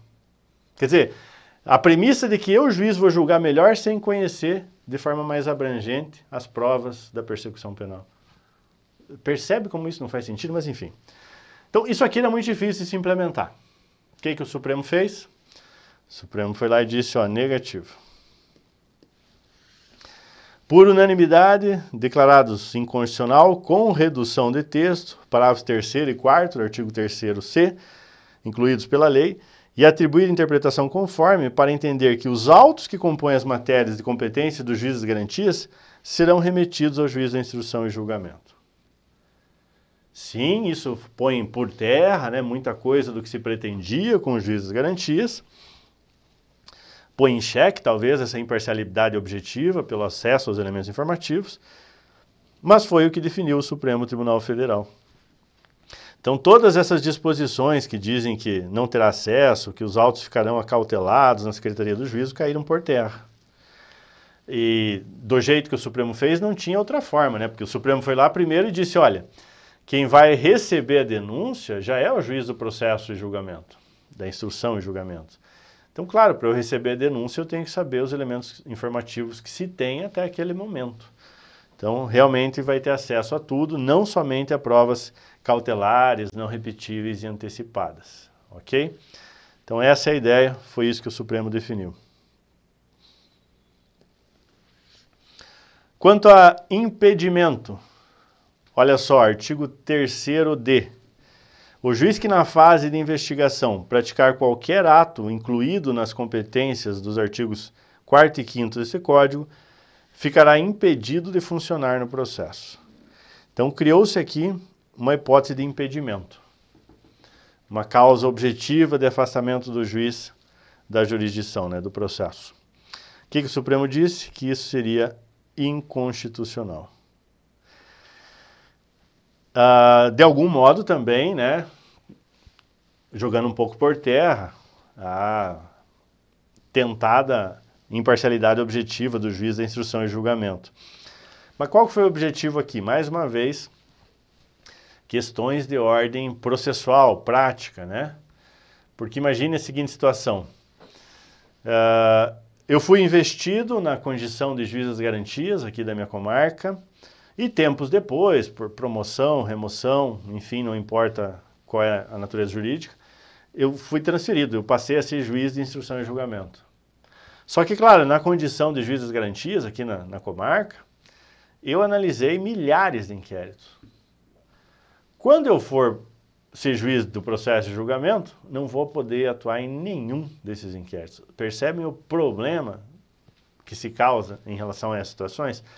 Eu dei um exemplo, a gente pode pensar em inúmeros outros problemas, principalmente quando eu tenho juízes garantias atuando longe de, de comarcas aí, de processo em andamento de juiz de instrução e julgamento. Mas, enfim, problemas pragmáticos né, e de ordem processual. Foi lá o Supremo e reconheceu a inconstitucionalidade. Embora não se recomende, claro, não estaria impedido de que o juiz do processo de julgamento tivesse praticado algum ato atinente aí às funções do juiz de garantias na mesma persecução penal, diante dessa inconstitucionalidade que foi reconhecida. Artigo 3d, parágrafo único, diz assim: nas comarcas em que funcionar apenas um juiz, os tribunais criarão um sistema de rodízio de magistrados, a fim de atender às disposições desse capítulo. Então, o pacote anticrime já meio que veio dando a solução aí para para atender o juiz das garantias, né? Isso vai dar mais trabalho, isso vai exigir ajustes na organização judiciária bastante grandes. E aí uma das implementações seria um rodízio de magistrados atuando como juiz das garantias. Nesse ponto, o tribunal reconheceu a inconstitucionalidade formal. Por que inconstitucionalidade formal? Vício de origem, né? Então, trata-se de organização judiciária e a iniciativa deveria ser do Poder Judiciário para alterar essas regras. Não foi assim, foi o próprio legislador, então é inconstitucional essa disposição. Dentro do mesmo contexto, né, o artigo 3º E, ele fala, o juiz das garantias será designado conforme as normas de organização judiciária da União, dos Estados e do Distrito Federal, observando critérios objetivos a serem periodicamente divulgados pelo respectivo tribunal. Então, a lei falava em designação. Está arriscado, não é à toa, porque em interpretação conforme, o Supremo diz que o juiz das garantias ele tem que ser investido e não designado, conforme normas de organização judiciária. Então, aqui se preocupou mais com a forma de assunção, né? A investidura é justamente essa assunção, essa ligação do juiz ao cargo que ele irá ocupar. É diferente de uma mera designação da designação, ela dá a ideia de um desempenho temporário, né? De alguma função, de algum cargo aí de comando. Não, o Supremo diz que é investidura. É assunção mesmo, né? Formal, e isso atribui um elo, uma, uma ligação para com o cargo muito mais efetiva. Então, nesse sentido, decidiu o Supremo Tribunal Federal. Artigo 3º-F. O juiz das garantias deverá assegurar o cumprimento das regras para o tratamento de presos, impedindo o acordo ou ajuste de qualquer autoridade com órgãos de imprensa, para explorar a imagem da pessoa submetida à prisão sob pena de responsabilidade civil, administrativa e penal. Então, preocupados aqui com a imagem do preso, com a informação sobre a prisão, o Supremo disse que tudo isso aqui é constitucional e que está valendo. O juiz das garantias, na fase de investigação, onde ele atua, portanto, ele deve assegurar isso, né? Regras de tratamento, impedindo aí exploração da imagem de forma pela mídia, né? Como a gente às vezes vê por aí. Então, tudo isso aí está sob a tutela do juiz das garantias na fase de investigação. Isso é válido, isso é constitucional.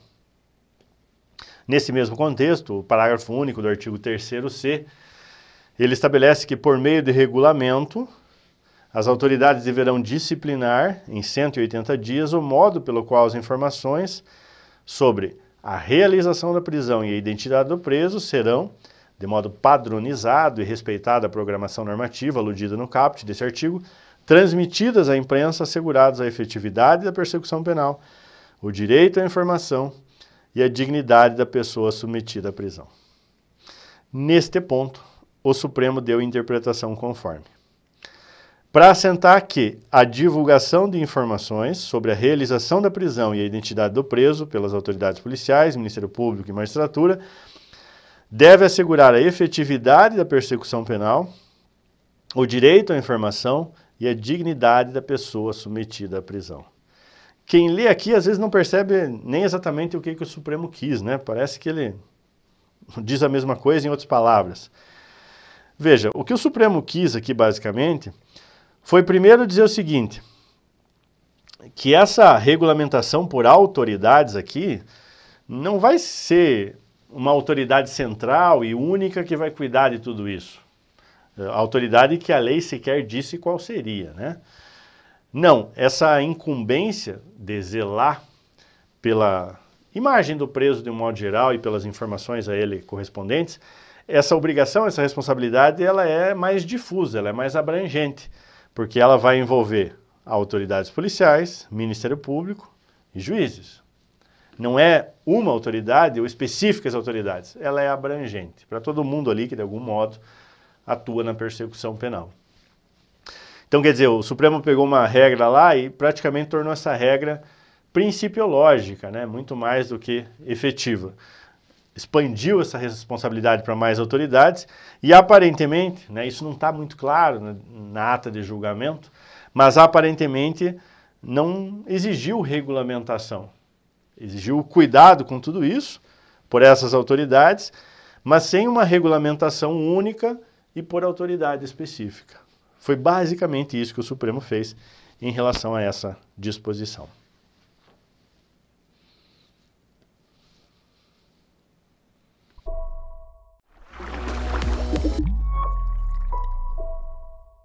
Meus amigos, vamos fazer aqui o nosso intervalo, coisa de 10, 15 minutos. Eu volto na sequência.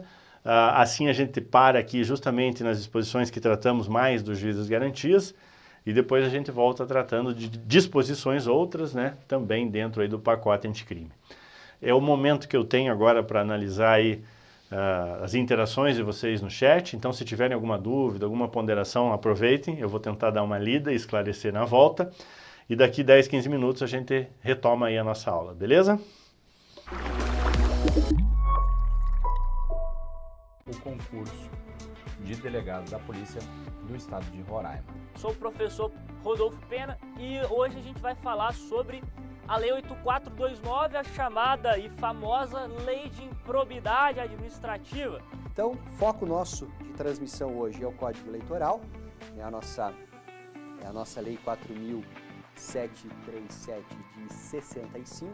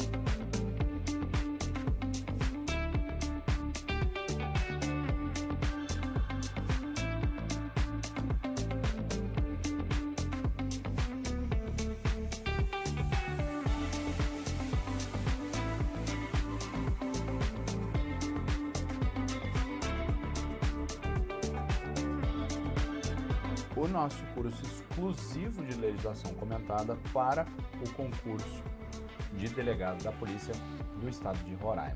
Sou o professor Rodolfo Pena e hoje a gente vai falar sobre a Lei 8429, a chamada e famosa Lei de Improbidade Administrativa. Então, foco nosso de transmissão hoje é o Código Eleitoral, é a nossa, é a nossa Lei 4737 de 65.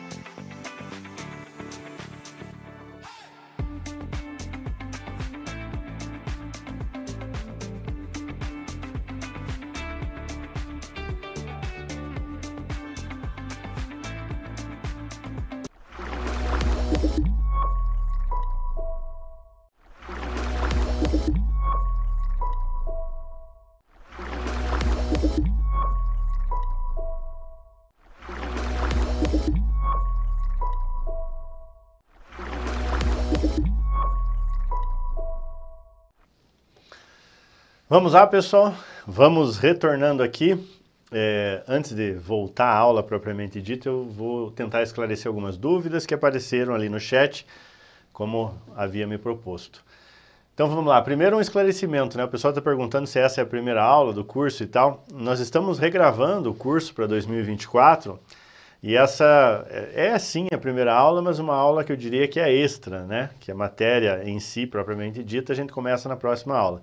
Então essa é uma matéria que está tratando aí justamente desse julgamento do Supremo com base na ata de julgamento e não, não na decisão que ainda não foi publicada.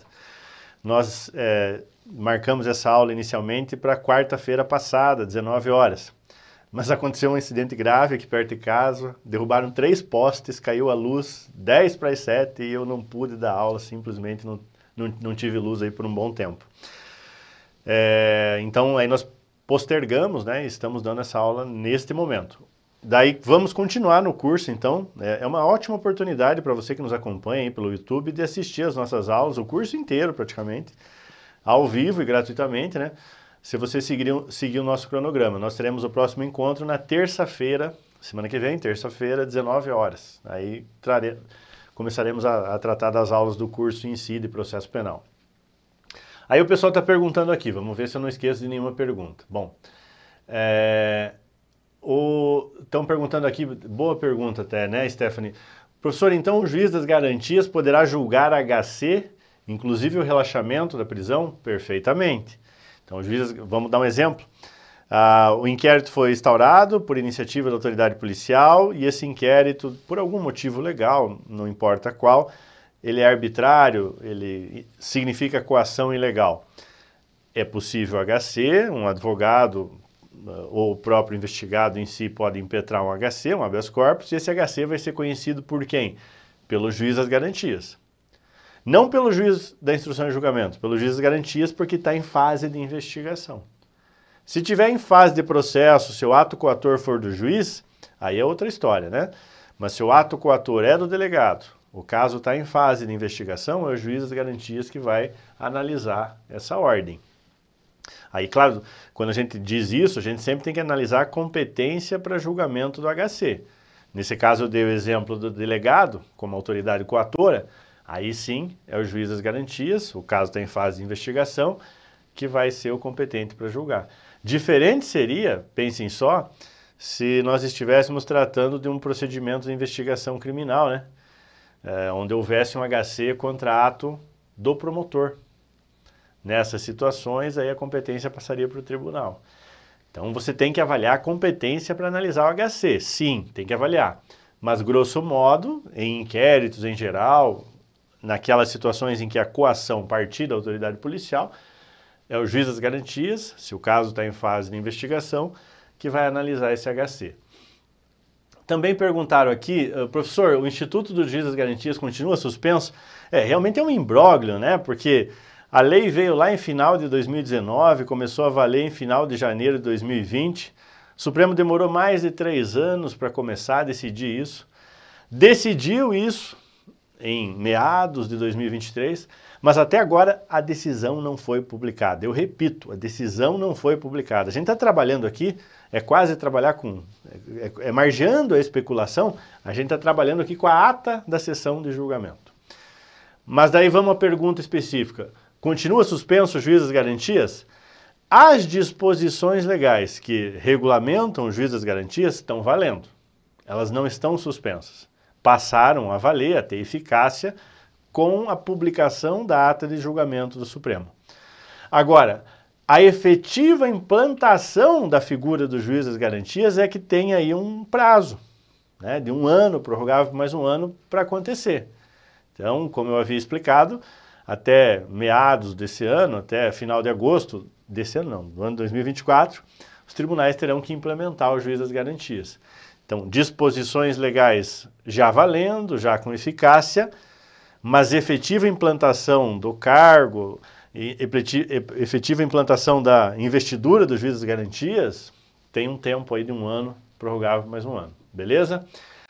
Aí também tem perguntas aqui Uh, não me lembro bem, uh, mas dizia assim, professor, aqui na minha comarca só tem um juiz substituto, um titular, enfim, nós sabemos que tem várias comarcas, Brasil afora, e olha que nós moramos aqui numa região que é mais rica nesse sentido, né, mais estruturada, onde vai faltar juiz para implantar das garantias, como é que vai fazer isso? Na verdade, assim, a lei deixou isso, e não poderia ser diferente, né, sob pena de vício de iniciativa, deixou como criar o juiz das garantias a critério dos tribunais, do Poder Judiciário.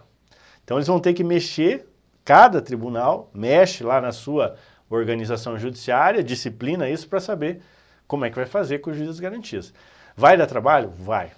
Um senhor trabalha em termos práticos de como fazer isso de uma forma que a justiça ainda não fique completamente engessada e inviável, né? Vai dar trabalho. E, e veja que quando o Supremo foi lá e decidiu, ele vedou a designação, ele vedou o rodízio, né, dizendo que tudo isso são os tribunais que vão estabelecer. Quer dizer, os tribunais podem disciplinar, mas o Supremo exigiu investidura, não designação.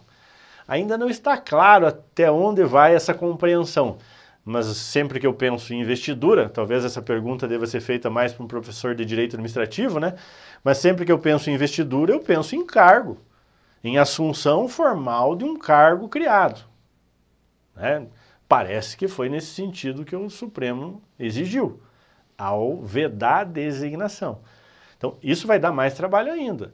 Talvez isso exija a criação de cargos, em muitas situações, para dar conta da instalação do juiz das garantias.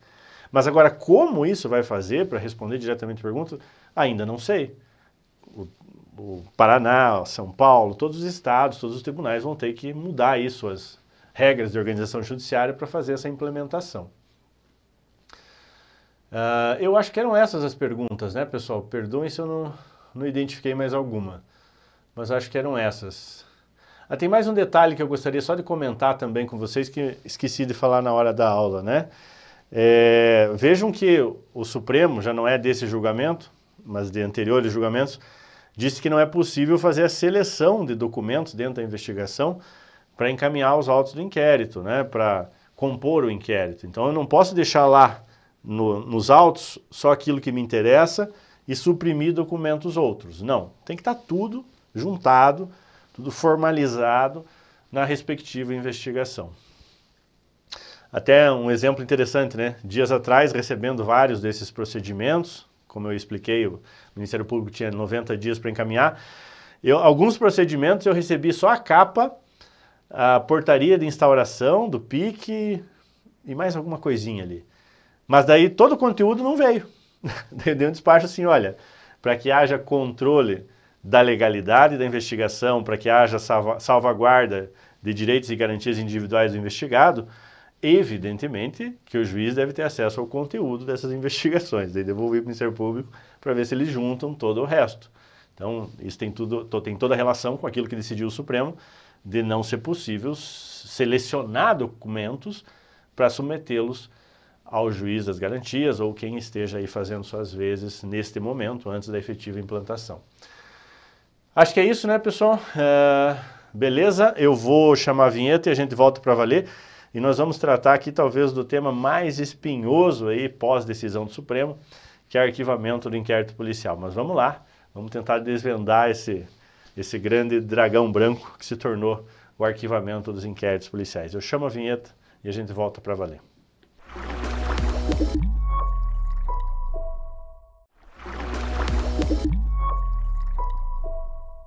Ah, voltei antes para valer, porque eu já tinha esquecido uma dúvida aqui da Cristiane. A Cristiane perguntou, é, artigo 5º, inciso 2 do Código, né, início do inquérito mediante requisição do juiz. Agora, não há mais discussão quanto à impossibilidade? É, vamos dizer assim, o Supremo não falou nada especificamente sobre isso. Se você me perguntasse, olha, após a decisão do Supremo, reforça-se a ideia de que o juiz não deve requisitar a instauração de inquérito? Sim, eu acho que essa ideia, que já era muito forte, está cada vez mais enraigada, principalmente porque vem o artigo 3º-A e diz que o nosso processo penal tem estrutura acusatória e embora essa expressão não tenha sido admitida na sua totalidade, ele também veda a iniciativa do juiz na fase de investigação. Então, claro, diante dessa estrutura acusatória, não é nada recomendável que o juiz faça iniciar inquérito. Agora, não houve um reconhecimento formal da inconstitucionalidade do artigo 5 inciso 2. Então, trocando em miúdos, existe precedentes na jurisprudência dizendo que não é constitucional, existe doutrina praticamente unânime dizendo que essa disposição não teria sido recepcionada pela Constituição de 88, que ela de algum modo viola o sistema acusatório. O pacote anticrime reforça essa ideia, mas insisto, não existe reconhecimento formal da inconstitucionalidade. O que, que eu quero dizer isso? Eu quero prepará-los para a resposta de concurso, né? Então, assim, se vai fazer uma prova objetiva, leia com atenção o enunciado, para ver se está te cobrando aquilo que o código ou a lei estabelece, artigo 5 inciso 2, ou cobrando a compreensão jurisprudencial e doutrinária. Lembrando sempre que, insisto, está lá à disposição cuja inconstitucionalidade formal não foi reconhecida ainda expressamente, tá? Mas sim, eu acho que o pacote anticrime reforça a ideia de que essa disposição, né, ela não foi recepcionada, ela de algum modo viola sim a, a estrutura acusatória do nosso processo penal. Acho que é isso, né, pessoal? Acho que é só essa que eu tinha esquecido. Chama a vinheta e agora sim a gente volta para valer.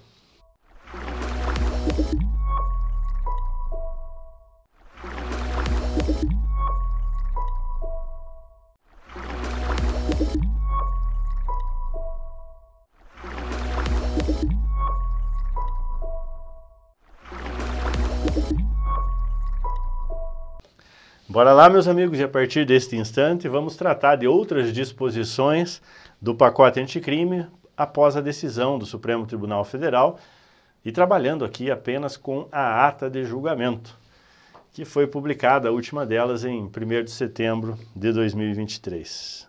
Olhos na telinha e vamos lá. Vamos falar sobre arquivamento de inquérito, um ponto bastante delicado, nevrálgico da decisão do Supremo que ocorreu em relação ao pacote anticrime. Não há como fazer isso sem fazer uma contextualização, um certo retrospecto. Então vamos voltar no tempo e vamos lembrar como que se dava o arquivamento do inquérito, qual era a sistemática de arquivamento do inquérito policial. Nós sabemos que o arquivamento do inquérito policial, pela sistemática antiga, eh, se dava por um ato complexo. Por que ato complexo? Porque atuavam mais de um órgão. Né? Então, se dava mediante promoção ou requerimento do Ministério Público e decisão do juiz. Era o órgão do Ministério Público atuando, era o órgão jurisdicional atuando também. Um ato complexo. Era assim que os inquéritos eram arquivados. Estava lá o inquérito tramitando. Quando era concluído, não chegou a lugar nenhum, suponha, o promotor pedia, requeria o arquivamento e o juiz determinava. Assim dispunha o antigo artigo 28, cuja redação eu coloquei aí para vocês. Certo. Uh, mas, mesmo por conta desse artigo 28 antigo, se resguardava a possibilidade de o juiz não concordar com esse arquivamento.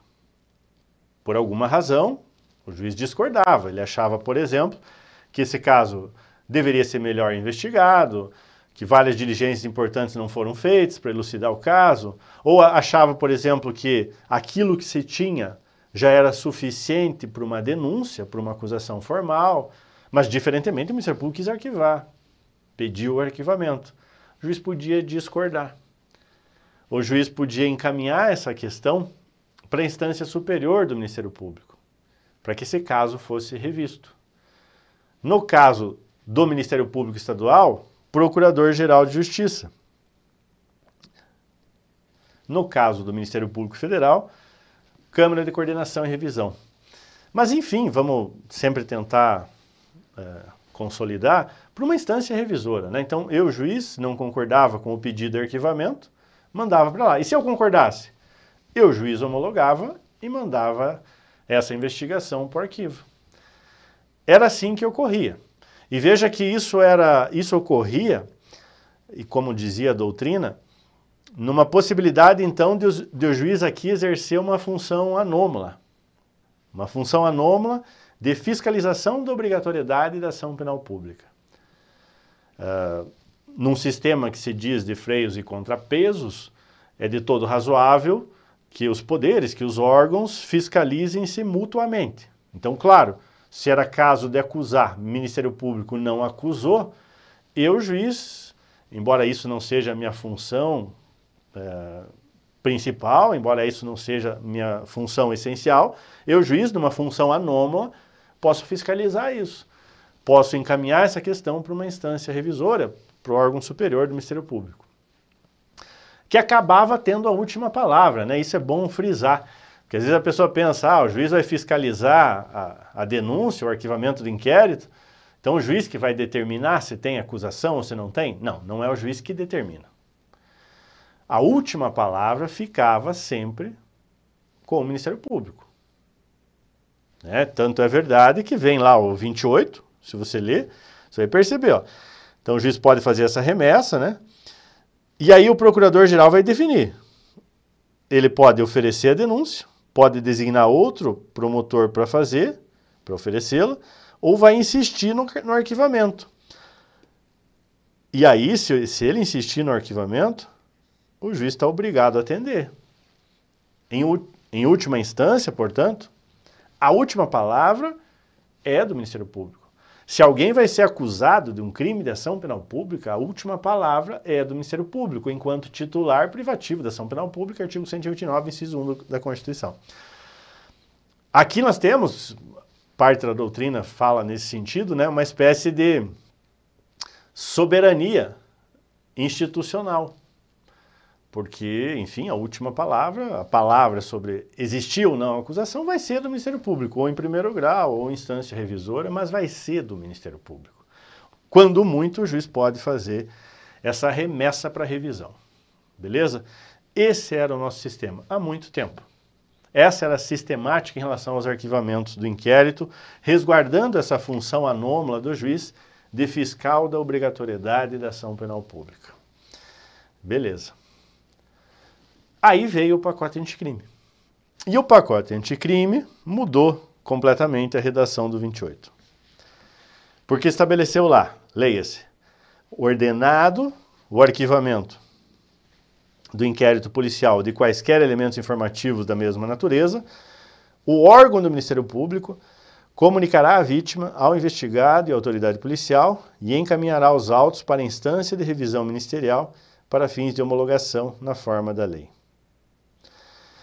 Vejam que o pacote anticrime tirou a figura do juiz, colocou somente a figura do Ministério Público no que diz respeito ao arquivamento. Enquanto numa primeira sistemática o Ministério Público apenas pedia, apenas requeria o arquivamento, na sistemática superveniente ele passou a dar ordem de arquivar. Ordem que não era mais então, não seria mais então, submetida à chancela judicial. Homologação então que ocorreria na própria instância de revisão do Ministério Público e não mais pelo juiz. Foi isso que o pacote anticrime fez dentro de uma perspectiva de querer, mais uma vez, reafirmar, fomentar o sistema ou a estrutura acusatória do nosso processo penal. É, por que, que se dizia, né, se diz isso? Porque, veja, quando o juiz pode é, pedir o reexame dessa questão, fazer essa remessa para revisão, vamos, vamos tentar imaginar uma situação concreta. Então, Ministério está aqui o inquérito policial.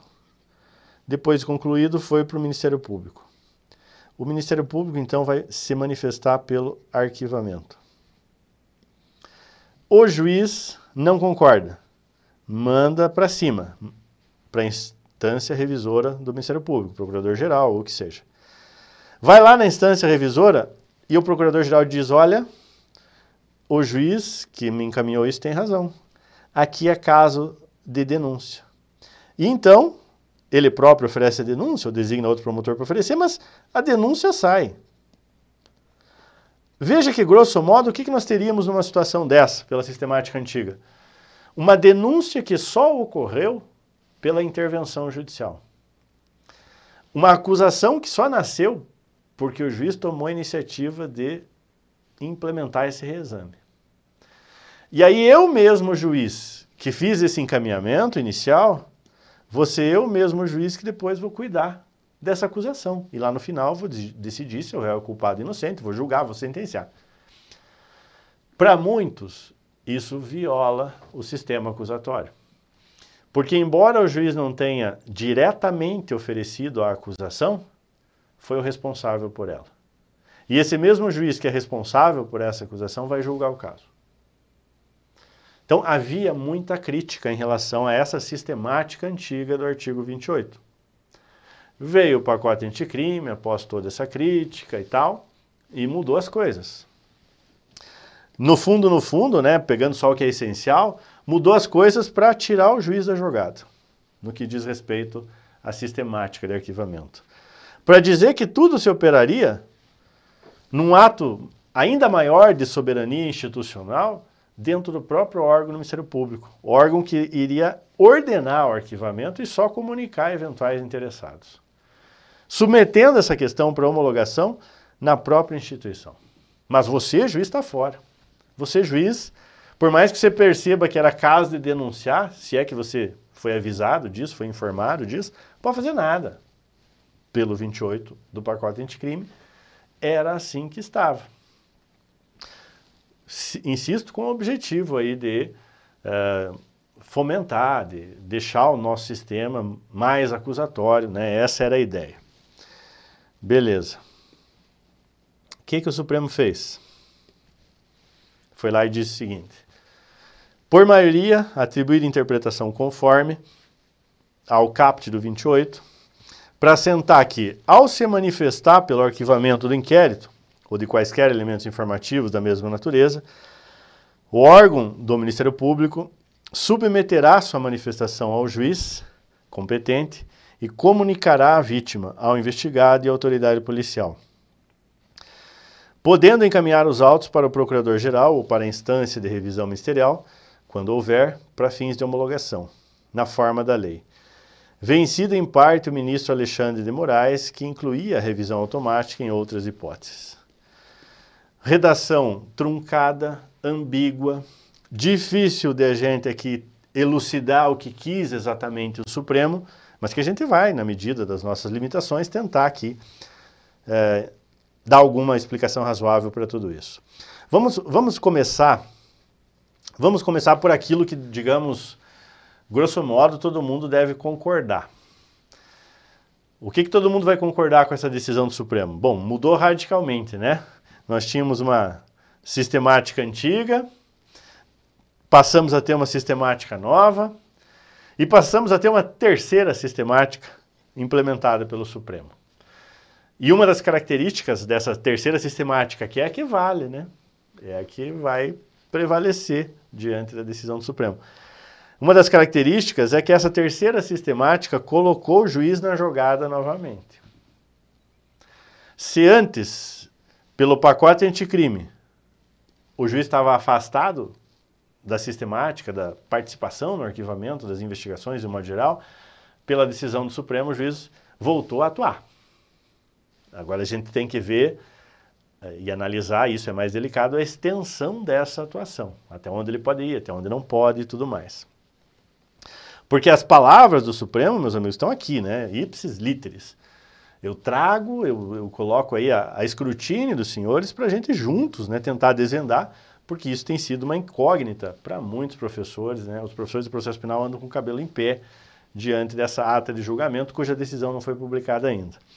Porque existem muitas dúvidas em relação a isso. Né? É, só para vocês terem uma ideia, se eu perguntasse assim para vocês, e daí? Tá valendo isso aqui, né? Quem que homologa o arquivamento hoje em dia? Juiz de primeiro grau ou instância revisora do Ministério Público? O que, que vocês me diriam? Só para começar no básico aí, né? Porque essa é uma pergunta fundamental e do dia a dia forense. Tá lá o inquérito, foi submetido, o promotor se manifestou pelo arquivamento, foi submetido ao juiz. É o juiz que homologa? Vai haver revisão da instância ministerial em todos os casos ou não? Né? Então, são várias questões que se colocam de efeito prático muito contínuo e no dia a dia e forense. A gente vai tentar desvendar algumas delas. Vamos lá. Vejam, eu uh, vou trazer aqui já o parágrafo primeiro para a gente fazer uma análise mais abrangente. O parágrafo primeiro a gente tem que tomar em conta também. Olha só. Diz assim: se a vítima ou seu representante legal não concordar com o arquivamento do inquérito policial, poderá, no prazo de 30 dias do recebimento da comunicação, submeter a matéria à revisão da instância competente do órgão ministerial, conforme dispuser a respectiva lei orgânica. Isso aí é também a disposição nova do pacote anticrime. O que, que nós temos aqui de, de grande alteração? E, e uma boa alteração. Nós temos a possibilidade de a vítima não se conformar com o arquivamento e submeter esse arquivamento a uma revisão. Vamos voltar no tempo? Como é que era antes do pacote anticrime? Você foi vítima de um crime. Você foi vítima de um crime, esse crime é de ação penal pública, suponha, está sendo investigado, e o Ministério Público, sem fazer todas as diligências necessárias, com muita prova ainda por produzir, e até já tinha alguma prova que daria base para oferecer denúncia, o promotor, vamos imaginar que ele foi desleixado e pediu o arquivamento. E você, vítima, está inconformada com isso, porque você queria ver o agente responsabilizado pelo que fez. Na oportunidade, antigamente, você podia fazer alguma coisa? Quase nada. Quase nada. Porque você não tinha recurso para essa situação, lembre que você está numa fase ainda pré-processual, nem processo você tem, não cabia nenhum tipo de recurso administrativo, é, nada praticamente você poderia fazer. A jurisprudência, de modo geral, não acolhia o mandado de segurança, não verificava aí nenhum direito líquido certo de haver denúncia, de haver ação penal pública. Você praticamente ficava de mãos atadas. Você que foi vítima do crime. Veio o pacote anticrime e fez muito bem nesse sentido. E disse, olha, vítima, negativo, você pode sim fazer alguma coisa, caso você não se conforme com a, a promoção de arquivamento. Você vai ter o prazo de um mês. Primeiro que você vai ter que ser comunicado do arquivamento. Até isso, né? Deixa eu chamar atenção para isso. Nem isso tinha. Antes do pacote anticrime, você, vítima, sequer saberia que o, o inquérito foi arquivado. Porque você não ia ser comunicada. porque o inquérito tramita lá na delegacia, né? Porque o inquérito tem a característica do sigilo, então não vai haver publicidade, não vai haver intimações, não há contraditório, não... você vítima não vai nem ficar sabendo. Agora veio o pacote anticrime e diz, ó, oh, você tem que ficar sabendo, você tem que ser comunicado. E aí você tem 30 dias dessa comunicação, se quiser, para submeter essa matéria à revisão da instância superior do Ministério Público. Então, você passou a poder fazer alguma coisa. Essa foi a disposição do pacote anticrime e nos parece muito bem-vinda. Eis o que estabelecia. Mas veja que, mesmo analisando o CAPT, analisando aqui o parágrafo primeiro, uh, pelo pacote anticrime, o juiz está fora de tudo isso. Quem pode reivindicar, reclamar por essa revisão é a vítima, não o juiz. O que, é que o Supremo fez? Colocou o juiz no jogo do arquivamento novamente. O Supremo foi lá e, por unanimidade, atribuiu interpretação conforme para dizer que, além da vítima ou do seu representante legal, a autoridade judicial competente também poderá submeter a matéria à revisão da instância competente do órgão ministerial, caso verifique patente, legalidade ou teratologia do ato de arquivamento. O juiz entrou no jogo do arquivamento novamente. Eu posso compreender que, pela decisão do Supremo, então o juiz continua tendo a função anômala de fiscal da obrigatoriedade da ação penal pública. O juiz ainda posso analisar as razões que o Ministério Público trouxe para arquivamento e se eu com elas e se eu entendê-las ilegais ou teratológicas, submeter essa questão à instância de revisão do Ministério Público. Isso está claro, né? Eu acho que nesse ponto, por mais que a gente tenha aqui por base só a ata de julgamento, acho que a gente vai concordar, isso ficou muito claro. Então o juiz que estava fora da jogada passou a entrar na jogada. Uh, aqui percebam, né, vários doutrinadores, professores estão dizendo, olha, aqui o, o Supremo fez praticamente legislou, né? Porque é, não foi uma decisão propriamente de constitucionalidade ou de inconstitucionalidade, foi uma alteração da lei que ele entendia que não era boa. E assim, de, de, uh, vamos dar a mão à palmatória. Eu, eu, sinceramente também não achava muito boa essa ideia de o juiz jamais poder fazer nada. Uh, aliás, isso foi cogitado nas discussões lá do Supremo. Por que, que essa ideia não é muito boa? Porque nós temos que lembrar que nós temos crimes que a vítima não é identificável, não tem uma vítima certa e individualizada. Pensa lá num porte ilegal de arma, pensa num crime de corrupção. Né? Então temos vários crimes, e muitas vezes graves, cuja vítima não é certa e individualizada. Então ninguém ia reclamar pelo arquivamento do inquérito, pedir a revisão do arquivamento. Mas mais que isso, boa parte, a grande maioria dos nossos crimes, são de vítimas hipossuficientes. Pessoas pobres, sem condições de entenderem o que está acontecendo, contratarem um advogado para né, para elucidar tudo isso, para tomar essa iniciativa de pedir a revisão. E aí tudo isso vai ficar só na chancela, praticamente, na prática, do órgão acusatório, da instituição Ministério Público. Mas espera aí, cadê a ideia de freios e contrapesos? Cadê a ideia de poderes autônomos mas reciprocamente se fiscalizando, né? quase que joga por terra né, a, a, nova disposição em várias dessas situações. Então o Supremo, entendendo todo esse contexto, foi lá e disse não, né, é, o juiz tem que ser comunicado do arquivamento e o juiz também pode submeter essa matéria à revisão, porque nem isso a, a legislação do pacote anticrime estabelecia né, necessidade de se comunicar ao juiz sobre o arquivamento. E aí ficava um negócio interessante, né, porque o juiz tinha que ser comunicado sobre a instauração de investigações, o juiz das garantias, ou quem o seja, tinha que ser comunicado sobre a instauração das investigações, mas ele não seria comunicado ao arquivamento. Então, havia aí sim um paradoxo, o Supremo houve por bem resolver dessa forma. Que forma? Vamos colocar o juiz na jogada novamente.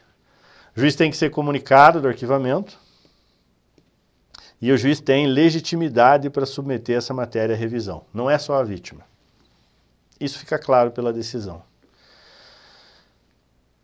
Também falava, na verdade fala, né, o pacote anticrime, o parágrafo 2 que nas ações penais relativas a crimes praticados em detrimento da União, dos estados, dos municípios, a revisão do arquivamento do inquérito policial poderá ser provocada pela chefia do órgão a quem couber a sua representação judicial. Então, aqui houve um crime contra o patrimônio do município. Quem que faz a representação judicial do município? O procurador. Então, o procurador municipal pode requerer essa revisão do arquivamento do inquérito. Ah, o crime foi contra patrimônio da União. Quem é que faz a representação judicial da União? a AGU, né, Advocacia Geral da União, ou nos crimes contra a ordem tributária, a Procuradoria da Fazenda, mas enfim, a AGU pode encaminhar essa questão para revisão pela instância ministerial. Então, nesse ponto, quando as vítimas são a União, os estados e os municípios, o legislador lembrou e atribuiu essa legitimidade para as representações judiciais correspondentes. Então, são questões aqui que eu estou trazendo, é mais simples, né? Eu acho que ninguém vai discordar que o juiz passa a ter essa legitimidade novamente, pode submeter essa matéria a uma reapreciação. Mas existem muitos pontos, porque o que a gente tem para trabalhar está aqui, né? V vamos voltar ao básico. Eu estou trabalhando aqui, e eu acho isso equivocado, né? Eu estou trabalhando aqui com a ata de julgamento, apenas, não com a decisão, porque não foi publicada. É, esse é o entendimento do Supremo. Volto a insistir. As decisões nas ADIs passam a ter eficácia a partir da publicação da ata de julgamento.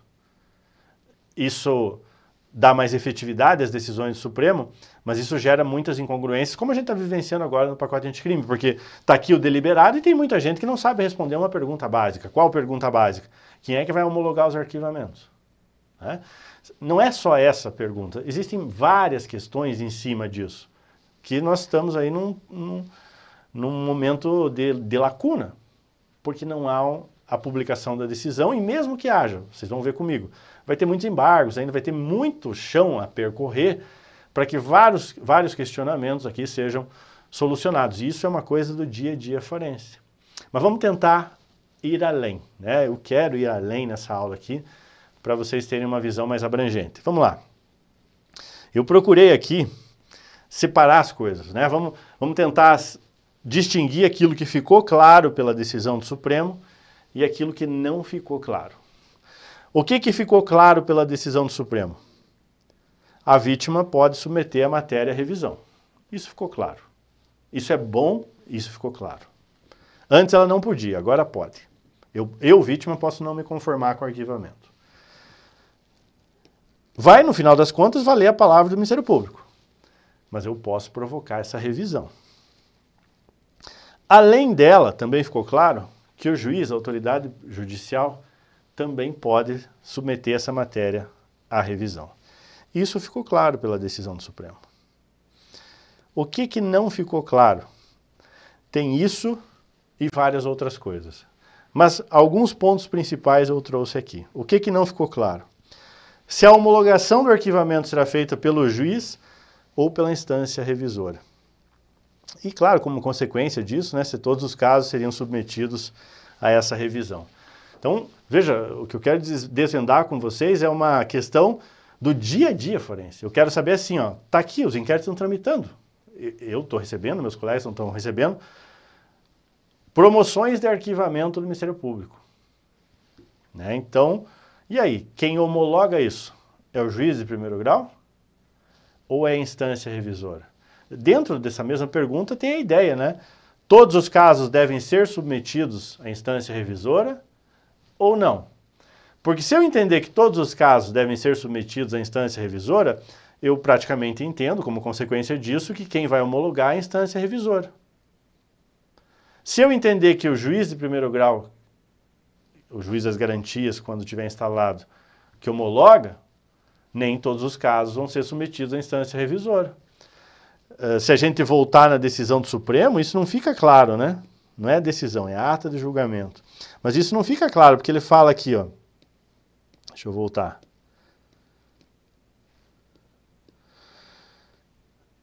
Ao se manifestar pelo arquivamento do inquérito ou de quaisquer elementos informativos da mesma natureza, o órgão do Ministério Público submeterá sua manifestação ao juiz competente e comunicará, fulano, beltrano e ciclano, podendo encaminhar os autos para o procurador ou para a instância quando houver para fins de homologação. Então, será que quem homologa esse para fins de homologação é para o procurador-geral, instância de revisão, ou é para o juiz? Isso não ficou claro, isso não ficou expresso na ata de, julga de julgamento. Né? A redação, como eu disse, parece truncada e não esclarecer nesse ponto. É, e esse é um dos pontos principais, eu diria, né? Só que assim, meus amigos, é, eu tenho aqui que explicar o que eu acho que o Supremo decidiu e não aquilo que eu gostaria como fosse. Se vocês me perguntassem como eu gostaria que fosse, eu gostaria que fosse como na lei originária. Eu gostaria que as homologações fossem feitas pela Procuradoria-Geral de Justiça ou pela instância revisora. Acho que isso, isso foi comentado pelos ministros, né? Então, uh, principalmente o ministro Alexandre de Moraes, ele tocou nesse ponto, olha, seria importante que as homologações fossem feitas pela instância revisora em muitas situações, até para se criar teses, uniformidade de entendimentos em relação à justa causa nas persecuções penais. Porque o que, que ocorre hoje em dia? Eu preciso dizer para vocês. Eu atuo aqui num, numa determinada vara com um determinado Ministério Público, um determinado promotor. Esse aqui entende que para se configurar a justa causa precisa de muita coisa. Precisa de um suporte bem consolidado de provas para que haja denúncia. O do lado, em crimes da mesma natureza, muito parecidos às vezes, entende que bem menos que isso é suficiente para denunciar. E tudo isso ficando a critério e praticamente sem um controle, sem uma coerência, sem uma sistematização, tudo isso ficando a critério do mesmo órgão, o Ministério Público. Se você fizesse com que as homologações, de um modo geral, fossem feitas pela instância revisora, isso fatalmente faria surgir a necessidade de uniformidade de entendimentos, de teses eventualmente institucionais do próprio Ministério Público para trazer um pouco mais de segurança jurídica em relação a arquivamentos de inquéritos, de investigações de modo geral. Do jeito que está, cada macaco no seu galho e sem informações correspondentes, entrelaçadas entre eles, fica uma coisa assim de sorte ou azar do investigado, né? Porque um mesmo suporte probatório numa vara pode ser insuficiente para denúncia e na outra ser suficiente. Ah, professor, mas o juiz pode controlar. Até pode, mas na prática, esse controle ele é bem delimitado. Por quê? Porque há uma tendência de se reconhecer a, a legitimidade do Ministério Público na formação da sua opinião delicti para início da ação penal. Ou seja, só em casos absurdos, teratológicos, é que o juiz rejeitando uma denúncia, né, realmente essa decisão seria mantida. Mas não vamos tão longe, não quero aqui polemizar. Percebam então que o Supremo não deixou muito claro quem deve homologar e se todos os casos devem ser submetidos à revisão. Eu acharia correto que todos os casos fossem submetidos à revisão. Aliás, essa foi uma pretensão, isso foi dito pelo próprio Supremo, né? Essa foi uma pretensão do próprio Ministério Público há muitos anos. O Ministério Público sempre quis né, ficar responsável por essa homologação, dando ênfase ao sistema acusatório. E é, qual a surpresa se não é a própria instituição do Ministério Público, a CONAMP, que entra cá, a DI, e que tem essa decisão aí nesse sentido. Por que, que a, o próprio órgão que representa o Ministério Público entrou? Porque aqui nós temos um problema de ordem prática, né? Isso também foi erigido na decisão lá, na discussão entre os ministros. Qual que é o problema de ordem prática? Se a gente entender que as homologações são feitas pela instância revisora, né, pelo órgão superior do Ministério Público, talvez eles não deem conta de tantos casos, de tantos milhares de casos que vão ser encaminhados. O ministro Alexandre de Moraes, por exemplo, quando discutia lá a questão, ele fala, não sei de onde ele trouxe esses números, né, mas é, falando de São Paulo, ele disse, olha, em São Paulo, cerca de 2 mil casos ao ano são submetidos à revisão da instância revisora na sistemática antiga. Se a gente encaminhar todos daqui em diante, né, por essa disposição do pacote anticrime, nós teremos mais de 100 mil casos, mais de 120 mil casos. Então, cerca de 2%, um pouco mais de 2% hoje são encaminhados, e se a gente entender pela sistemática nova, vão ser mais de 120 mil casos. Então, realmente ficaria difícil do Ministério Público dar conta disso. O problema é muito mais de ordem prática do que técnica jurídica, né? E aí, né, nesse contexto é que a, a Conamp entrou com a ADI. Ministro Alexandre de Moraes, inclusive, olhando aqui para a ata de julgamento, a gente percebe, ele ficou vencido. Por que, que ele ficou vencido? Porque ele propunha a revisão automática, né, esse encaminhamento, em vários outros casos. Principalmente nos casos de vítima incerta e indeterminada. Então, o que o ministro Alexandre de Moraes propõe é o seguinte: olha, eu proponho uma interpretação conforme aqui para a gente entender que nas investigações onde eu não tenha a vítima certa e determinada, haja esse reexame necessário, esse encaminhamento para a instância revisora. Sempre. E aí, fora disso, né, a vítima, o juiz também pode fazer os seus encaminhamentos. Era isso que ele propunha, mas ele ficou vencido. Então, quer dizer, embora a ata de julgamento não seja clara, até pelas discussões que a gente percebeu, a intenção do Supremo, tomara que eu não me equivoque, né, porque é difícil o professor dar mão ao palmatório como eu estou dando agora. A intenção do Supremo, que a gente percebeu das discussões, é que não sejam, então, todos os casos submetidos à instância revisora. Só sejam submetidos aqueles casos onde a vítima ou o juiz não concordou com o arquivamento. Só esses, né? É o que se imagina que vai é, vingar. Mas insisto, aqui eu estou pisando num tema arenoso, porque nós temos só a ata de julgamento e não a publicação dos votos e da decisão. Então, mas imagino que essa seja a tendência, até pelo voto vencido do ministro Alexandre de Moraes, que propunha revisão automática em vários outros casos, e nem isso passou. Quer dizer, não faria sentido eles agora, com a publicação da decisão, dizer, não, quem vai homologar a instância revisora e todos os casos vão para lá. Peraí, mas não queriam nem que aqueles com vítima incerta fossem, agora vão querer que todos vão? Que história é essa, né? Não faz sentido, é incongruente. Então, imagino que, respondendo então a, a uma primeira questão truncada, né? Imagino aqui, ó, nesse item A, que a homologação do arquivamento, ela continue sendo feita pelo juiz e não pela instância revisora. É o que a gente imagina pelas discussões dos ministros, não porque isso esteja claro pela ata de julgamento. Ok, mas tem mais questões que não ficaram claras, né? Em que momento o caso deve ser submetido ao juiz? Será que tem que esperar o transcurso do prazo da vítima? Sim, né? Porque lembrem, a vítima tem 30 dias do recebimento da comunicação para submeter a matéria à revisão. Em que momento que o caso vai ser submetido ao juiz? A lei não é clara nesse sentido e muito menos a decisão, a ata de julgamento da decisão do Supremo. Ah, o que eu posso aqui imaginar e que o mais recomendável, né, até para evitar retrabalho, redundância, é que essa submissão do caso ao juiz, vamos voltar aqui para ver sempre a, a ata de julgamento, que essa submissão à manifestação do juiz ela deva ser feita após o transcurso do prazo da vítima. Né? Por que, que eu digo isso? Para otimizar os trabalhos. Porque a vítima já tem legitimidade para submeter a matéria à revisão. E talvez seja até mais apropriado que ela o faça e não o juiz em respeito ao sistema acusatório. Então, é importante deixar passar esse prazo para saber se a vítima vai pedir essa revisão. Porque se ela pedir, eu, juiz, apenas quando muito vou concordar com esse encaminhamento, vou determinar esse encaminhamento, até isso não ficou claro também, mas esse encaminhamento vai ocorrer, independentemente da minha manifestação.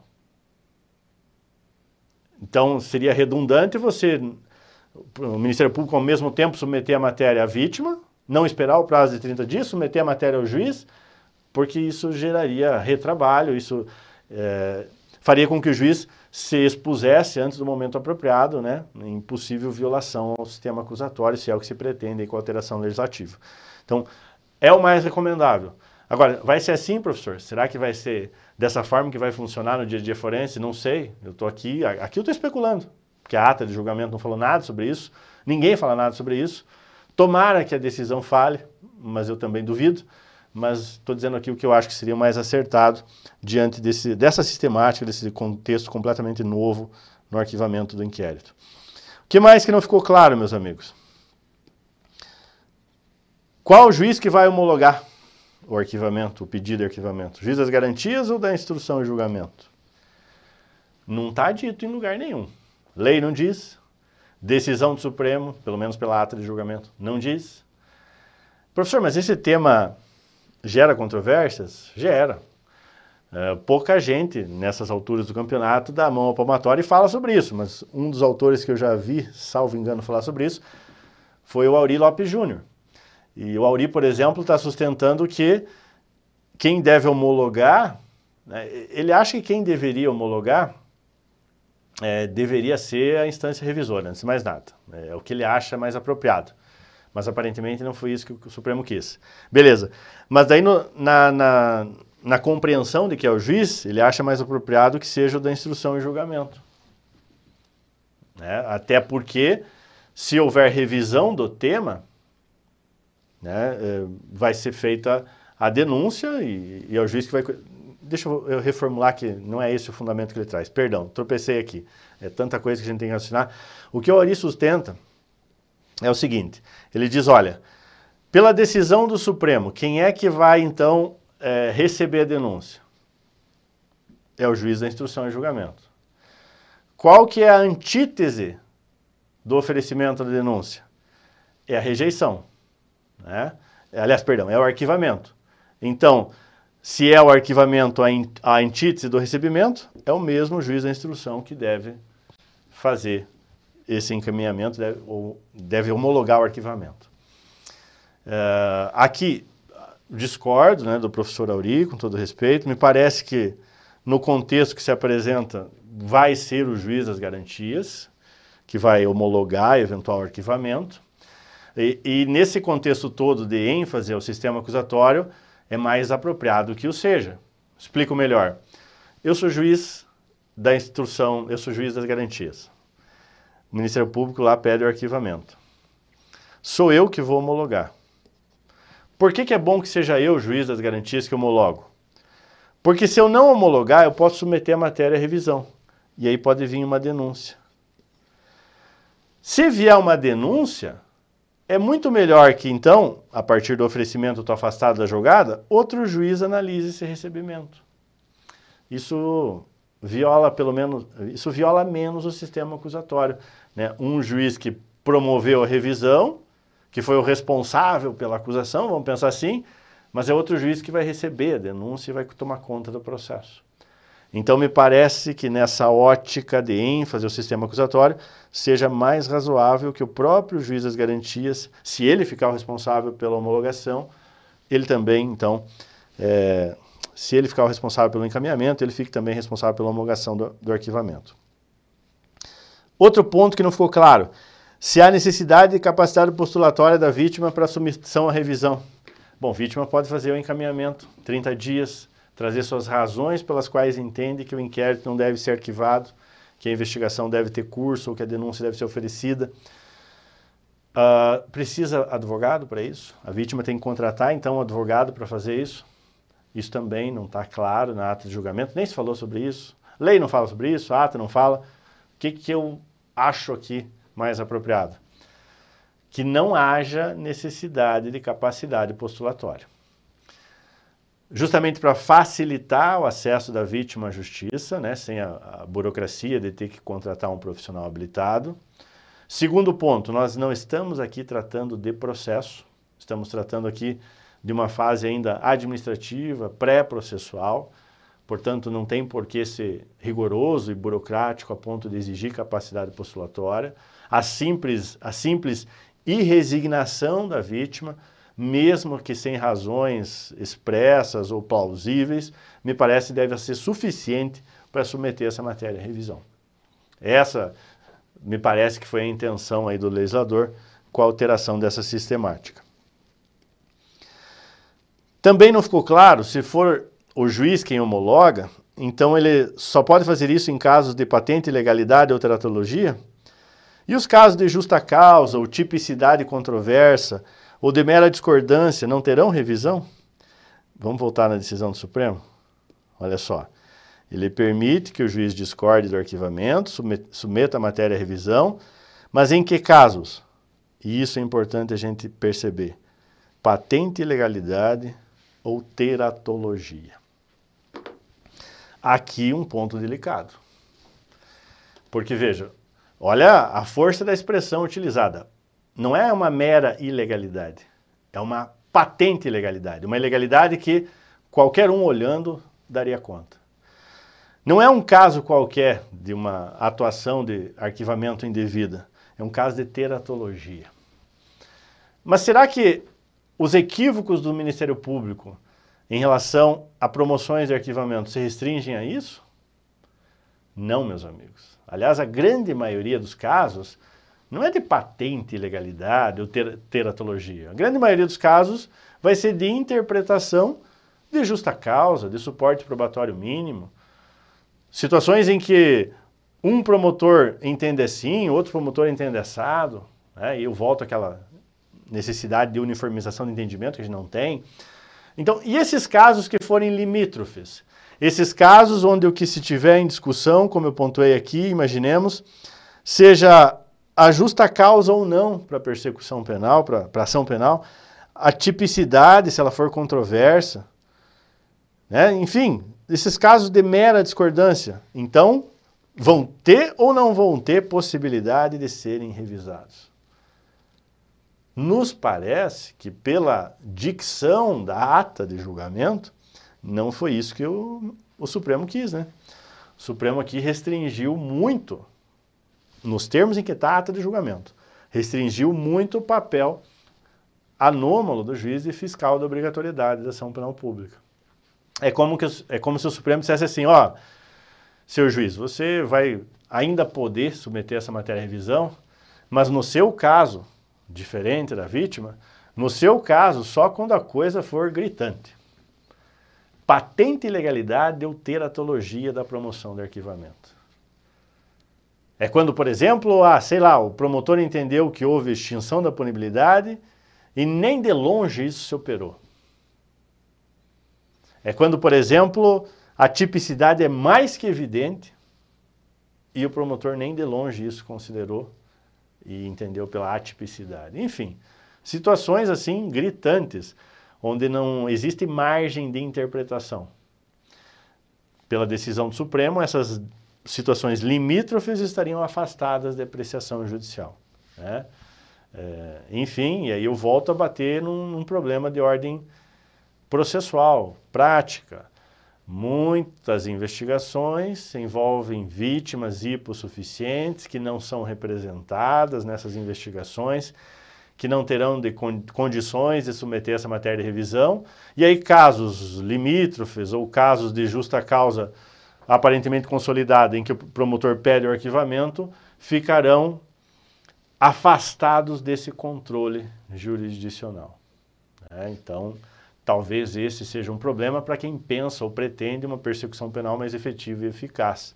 Mas, enfim, é o que tem para hoje. Mais um ponto que não ficou claro, né? Nos casos de alteração de entendimento pela instância revisora, haverá repristinação do antigo 28? É, como assim, professor? Não entendi, né? Às vezes a pessoa não entendeu aqui essa última dúvida. Porque assim, então, Vamos imaginar que o juiz ou a vítima mandou para a instância revisora. E a instância revisora manteve a promoção de arquivamento. O juiz é obrigado a acatar, o inquérito realmente vai ser arquivado, existe alguma outra solução? O que, que pode acontecer? Vejam que a antiga redação do 28, ela era clara quanto a isso, né? Porque ela dizia, ó, a instância revisora vai oferecer a denúncia, designar outro promotor para oferecer, se não concordar com o arquivamento, né? ou insistirá no arquivamento, e aí, nesse caso de insistência, o juiz estará obrigado a atender. Hoje eu te pergunto, após a decisão do Supremo, o juiz está obrigado a atender a promoção de arquivamento que foi confirmada pela instância revisora? Você pode até dizer que sim, né? E eu também vou compreender que sim. Mas onde é que está escrito isso? Onde é que está escrito isso? Né? Então, esse é o ponto.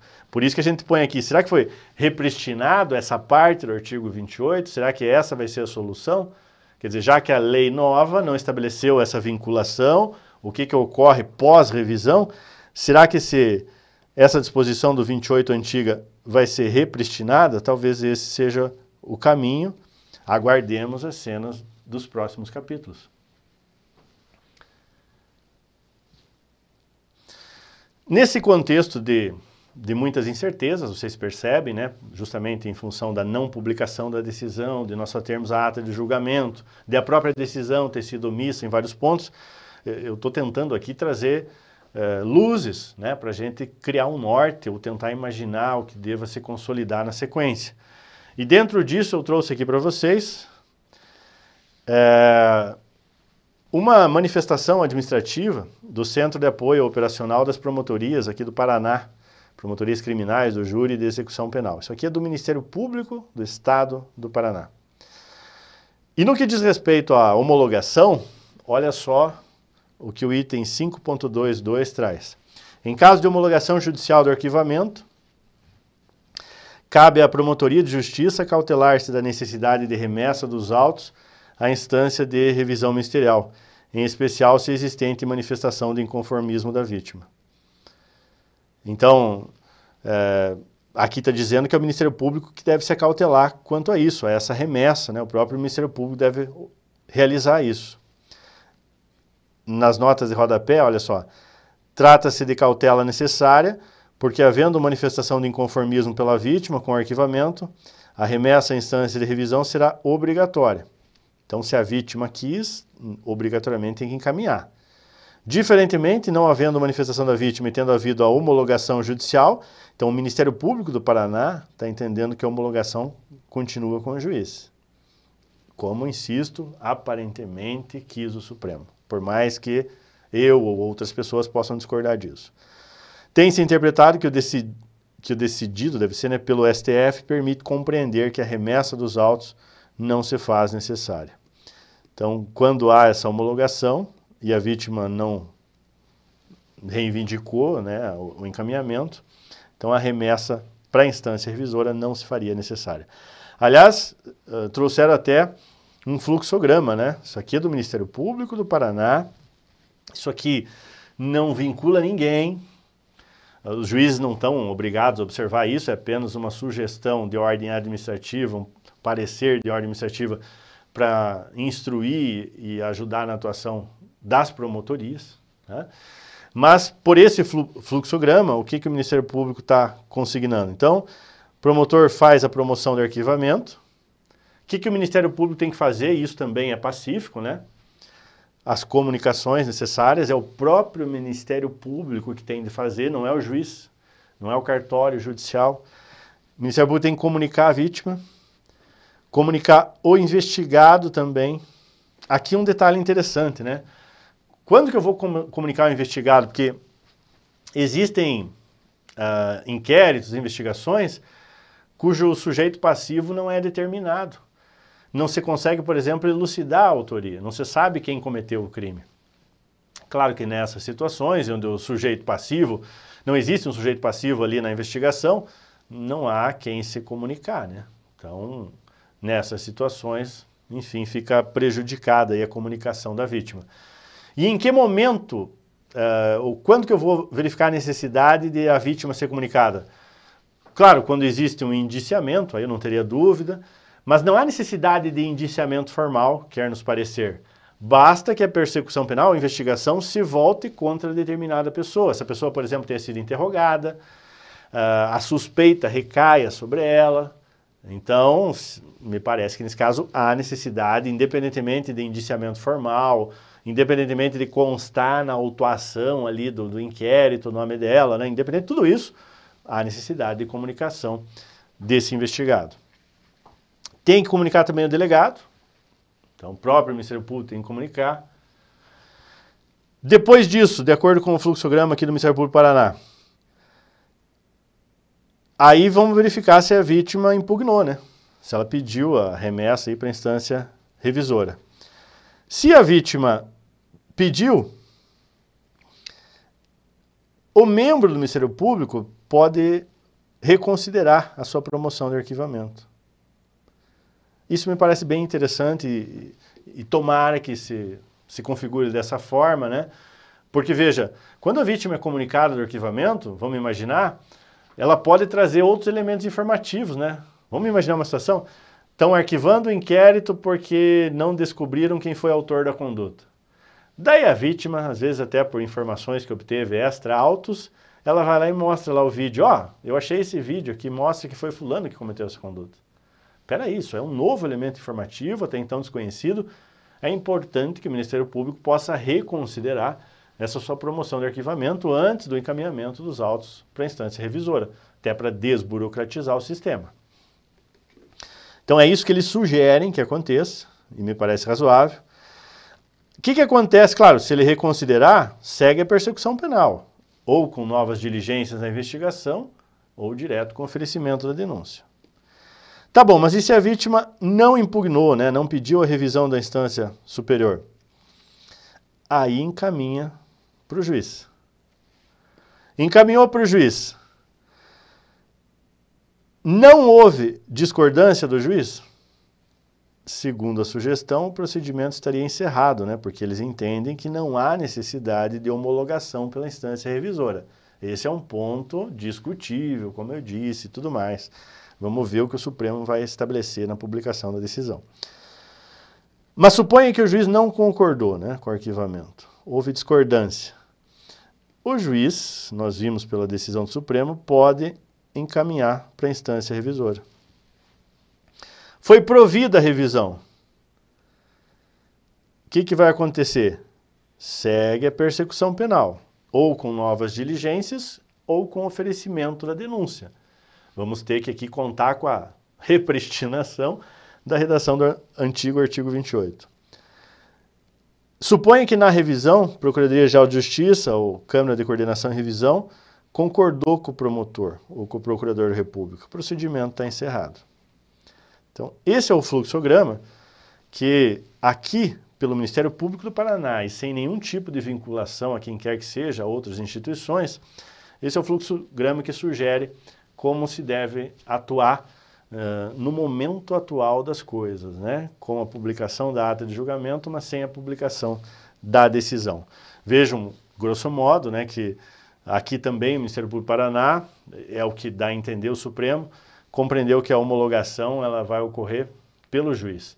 Então, por esse entendimento, o que a gente pode compreender? Que a sistemática antiga do artigo 28 praticamente foi repristinada, foi readotada, com, com uma característica marcante, a possibilidade de a vítima também é, requerer a revisão dessa, desse arquivamento. Só que pela decisão do Supremo, né, essa discordância aqui do juiz, ela ficou mais delimitada, somente em casos de patente ilegalidade ou teratologia.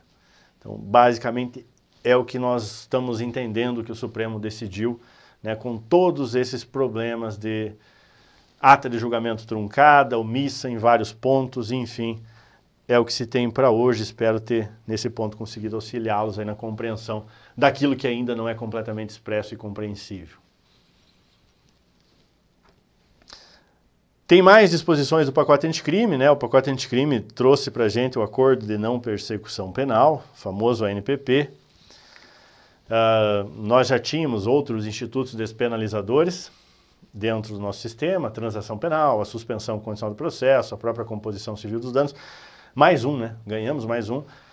O acordo de não persecução penal, com seus requisitos próprios, o principal deles e objetivo, pena mínima menor que quatro anos. Crime não pode ser com violência ou grave ameaça, enfim.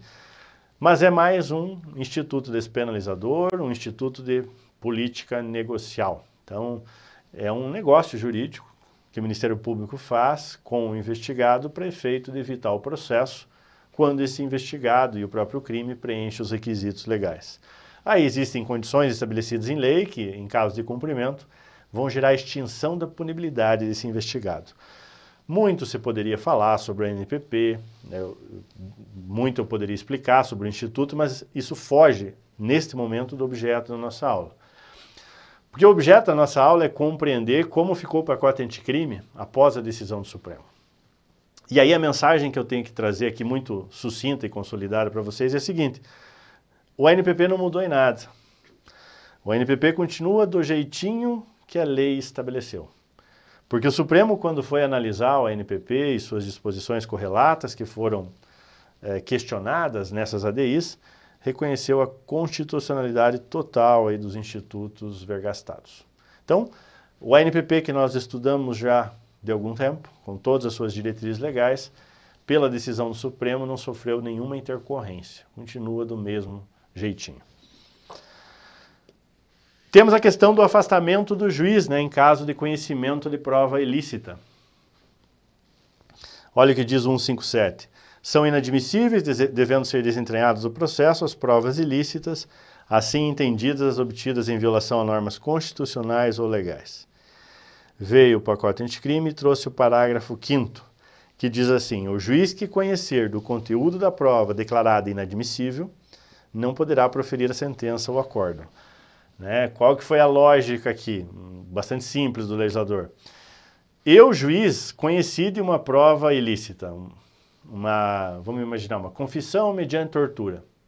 Eu, juiz, não posso julgar o processo, porque isso contaminou a minha imparcialidade. Eu estaria, então, impedido de proferir a sentença ou acordo. Isso aqui, gente, não é novo.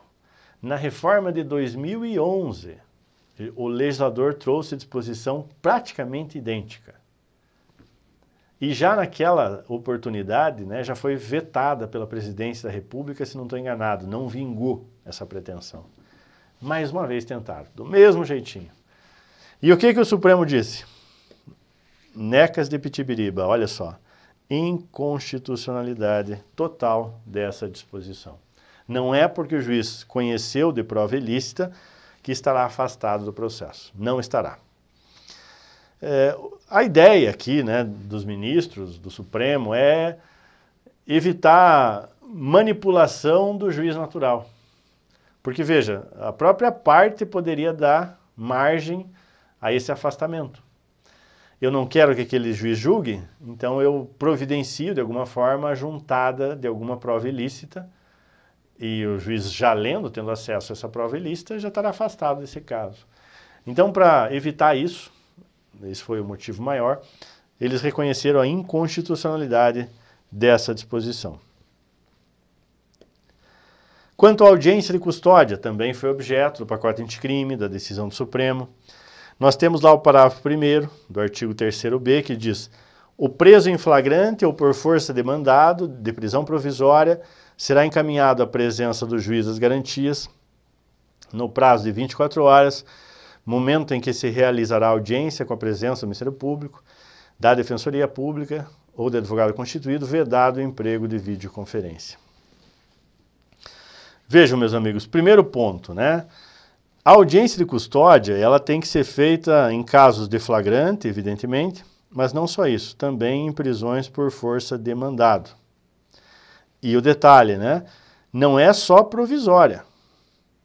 O Supremo já disse, e eu trago aqui como exemplo a reclamação 29303, o Supremo já disse, pelo seu plenário, né, que a audiência de custódia tem que ser feita até em relação a presos definitivos. Então o sujeito já foi condenado, trânsito em julgado, vai começar a cumprir a pena. Tem que ter audiência de custódia. É, o pessoal tem uma verdadeira, como eu posso dizer, é, um afã né, por audiência custódia, eles adoram audiência custódia, até para casos de execução de pena. Mas enfim, então todo tipo de prisão provisória, não só os flagrantes, inclusive prisões definitivas. Beleza. E o pacote anticrime, ele tinha proibido o uso da videoconferência. Foi lá o Supremo, nesse ponto específico, e afastou essa proibição. Pelo menos peremptoriamente.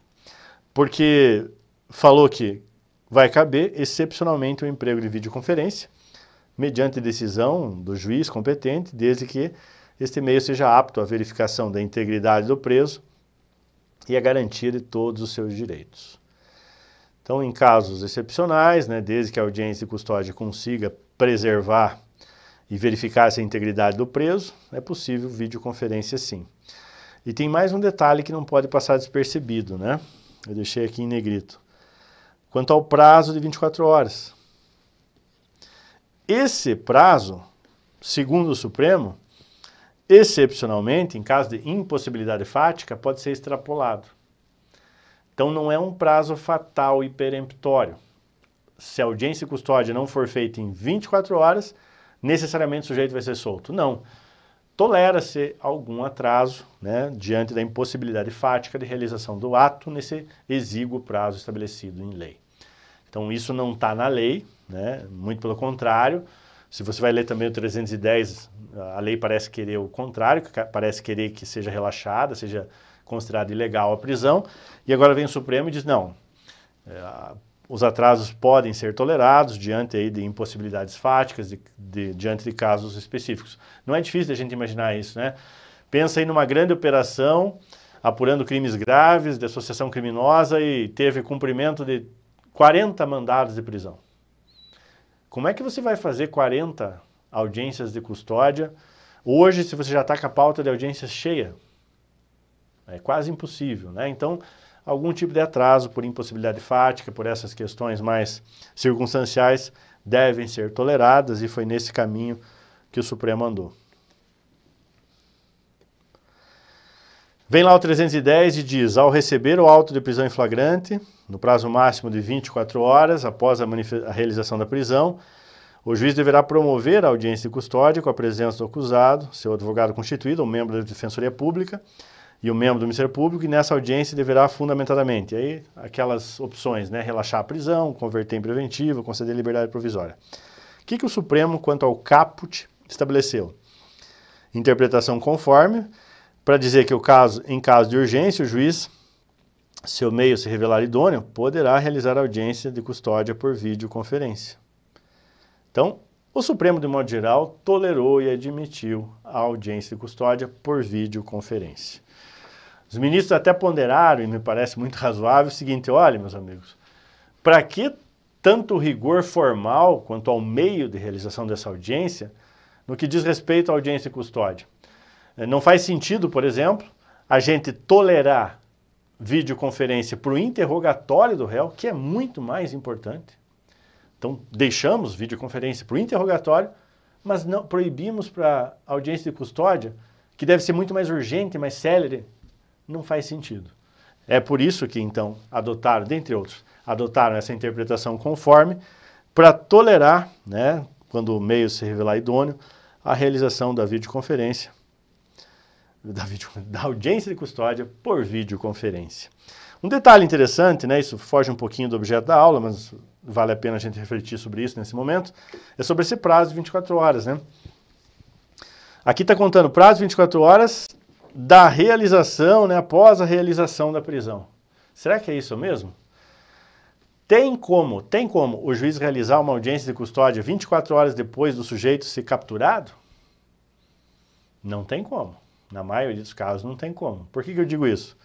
Porque se você for olhar lá no 306, você vai ver que o prazo da autoridade policial encaminhar o auto de prisão em flagrante para o juiz é de 24 horas.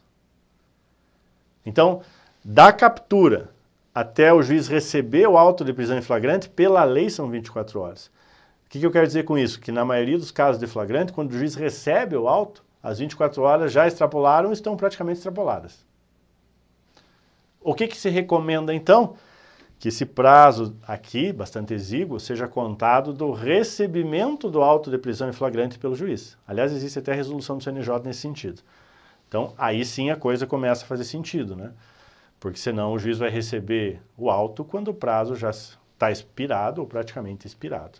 Então, melhor contá-lo, como recomenda a resolução do CNJ, do recebimento do auto pelo juiz.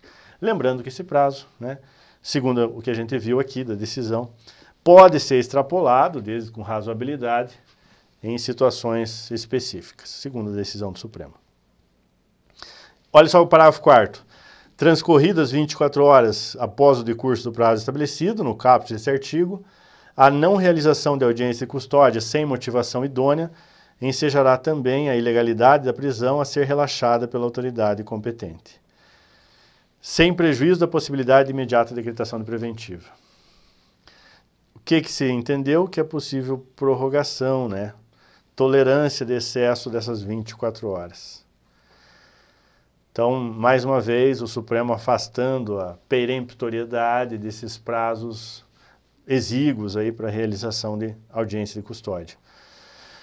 E é interessante a gente notar que eventual ilegalidade, né, eventual é, ilegalidade do flagrante, relaxamento do flagrante, não necessariamente significa a soltura do sujeito. Isso porque a própria lei fala aqui, ó, sem prejuízo da possibilidade de preventiva, isso foi reproduzido também na ata de julgamento do Supremo. Então, por mais que eu reconheça, olha, o flagrante em si é legal, até por extrapolação do prazo da audiência de custódia, nada impede que se decrete a prisão preventiva. São prisões provisórias distintas, com requisitos próprios, diferentes, autônomos, por isso mesmo que eventual ilegalidade numa não necessariamente inviabiliza a outra. Quanto à lei no tempo, meus amigos, esse também é um ponto que a gente deve analisar. Então, nós temos o pacote anticrime, juiz das garantias, várias disposições. Como é que vão ficar, como é que vai ficar a aplicação dessas disposições todas nos processos, ou melhor dizendo, nas persecuções penais em andamento? Vão atingir, inclusive, processos em curso? Não vão? Bom, aqui a gente tem que, antes de ver como ficou, saber como é. E quando a gente trata da aplicação da lei processual no tempo, a regra básica é aquela do artigo 2 do Código de Processo Penal. Tempus regit actum. Que estabelece o quê? Que a lei processual tem aplicação imediata, sem prejuízo da validade dos atos realizados sob a égide, né, sob a vigência da lei anterior. Então, princípio da aplicação imediata. Tempus regit actum. Lei processual, se ela for só processual, eminentemente processual, se aplica de imediato. Ah, mas o processo está em curso e o crime é lá de trás. Não importa, aplica de imediato. Ah, mas ela é prejudicial ao réu. Não importa, aplica de imediato, se for eminentemente processual. Essa história de é mais benéfica, não é, tem de retroagir se favorecer, etc. Isso é coisa do direito material. Isso é coisa para lei material ou lei híbrida. Aqui, na nossa matéria, se a lei for eminentemente processual, exclusivamente processual, aplicação imediata e pouco importa se é pior ou melhor para o acusado. Respeitados os atos passados, eh, subsumidos, né, regidos pela lei revogada. Aí, esse é o princípio básico. Tá bom. Vamos lá para o pacote anticrime, né? Juiz das garantias, um monte de outra coisa. A primeira pergunta para a gente saber se se aplica de imediato ou não é se essas regras são processuais ou materiais, ou eventualmente híbridas. É, é isso que.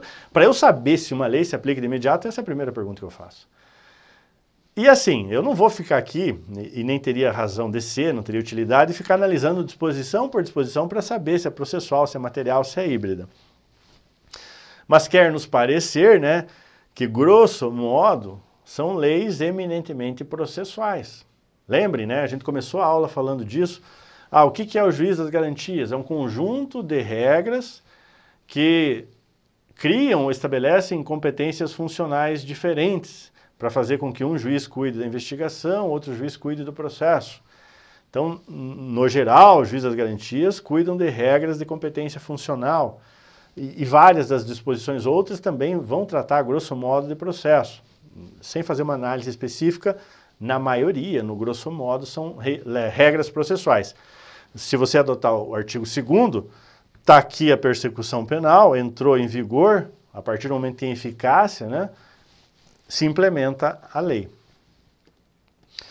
Mas o Supremo, e acho que fez bem, né, ele regulamentou isso, ele disciplinou isso uh, justamente para não gerar insegurança jurídica.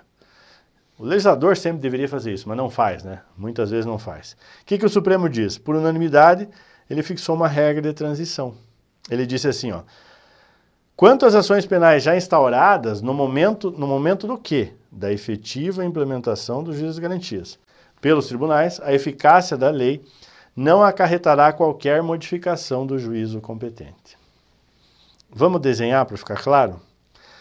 O que está faltando? Né? Será que essas disposições, deixa eu voltar ao básico, as disposições do pacote anticrime, do juiz das garantias, Hoje, elas têm eficácia? Tem, porque elas têm eficácia após a publicação da ata de julgamento. Beleza. Mas a figura do juiz das garantias, né, esse juiz com essas novas competências funcionais, já existe na grande, acho que não conheço nenhum tribunal que ainda já implementou. Então, não existe ainda. Todos os tribunais vão implementar essa figura.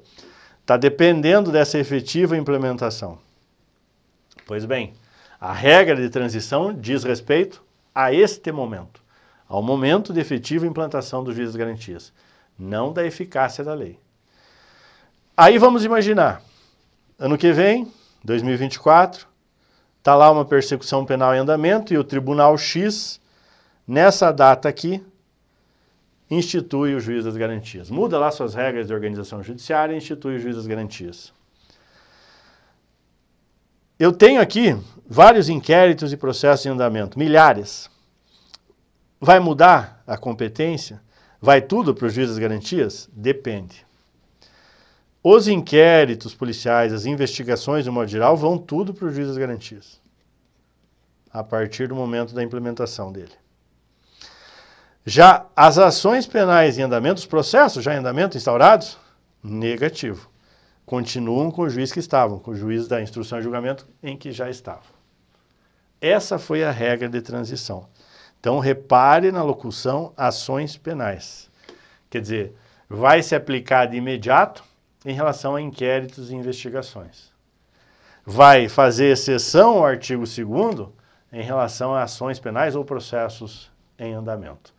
Para ter mais segurança jurídica, para evitar o tumulto de ficar no meio do caminho, um processo ir de um juiz para outro e assim vai. Foi isso que decidiu o Supremo e me parece que fez bem aí nesse contexto, pelo menos na prática, isso vai ser bem melhor de equacionar, ou menos difícil de equacionar.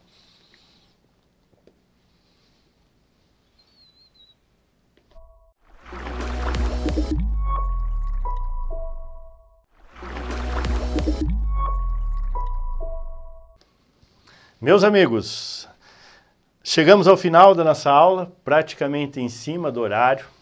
É, eu volto a insistir aqui, eu vou deixar todo esse material para vocês no nosso canal do Telegram, que é fácil de você encontrar, basta digitar aí processo penal, tudo junto. Daqui uma meia hora, uma hora no máximo, todo esse material vai estar lá disponível para vocês. Eu costumo sempre dar uma olhada aqui em relação a dúvidas. Uh eu acho que o juiz das garantias, pelo menos em São Paulo, não é praticamente a mesma esfera de competências do DIPO em relação a, ao juiz criminal comum. É, eu conheço pouco lá, já ouvi falar e tal, mas me parece que é bem semelhante sim, viu, Ailton? Uh, já faz tempo que não leio, mas fazendo um paralelo com a resolução 181, o momento de comunicação à vítima seria alterado, não mais após a homologação. Então é possível que a resolução também. Perfeito, acho que vai ser por aí sim, Cristiane. É, prevejo muito delta discordando o arquivamento e dando trabalho para a instância revisora. Lembremos que o delta, o delegado, não tem legitimidade para discordar do arquivamento.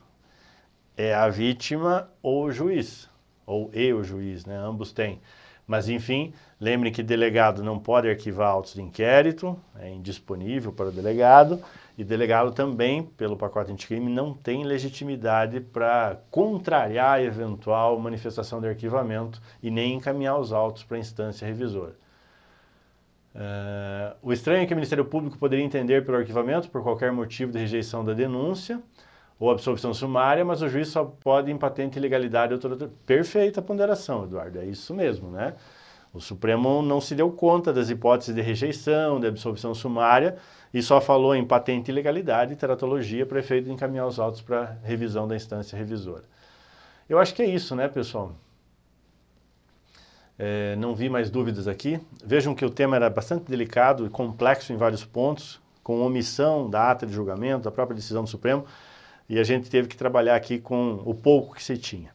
Espero que as informações tenham sido válidas, espero que você, apesar da dificuldade aí dos institutos, tenha acompanhado o raciocínio, tenha assimilado a maior parte das informações, porque no fundo, no fundo é isso que me interessa. Eu acho que a gente aprende o direito, não é só o processo penal, quando a gente consegue raciocinar sobre ele. entender as razões, os porquês, por mais que não concorde com eles.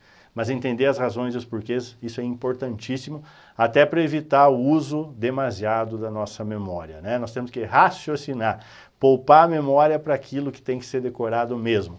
No mais, meus amigos, entender a lógica, quando é possível, do sistema, saber trabalhar sistematicamente e conhecer não só ordenamento jurídico, como jurisprudência e doutrina. Fico agradecido aí pela interação, pela audiência. Nos encontraremos novamente em outra aula na próxima terça-feira, 19 horas. Né? Já convido vocês aí para as aulas de processo penal. Se tiverem mais algum apontamento, alguma coisa, fiquem à vontade nas nossas redes sociais, no nosso canal do Telegram. Nos encontraremos em outras oportunidades. Grande abraço do professor Leonardo e até a próxima.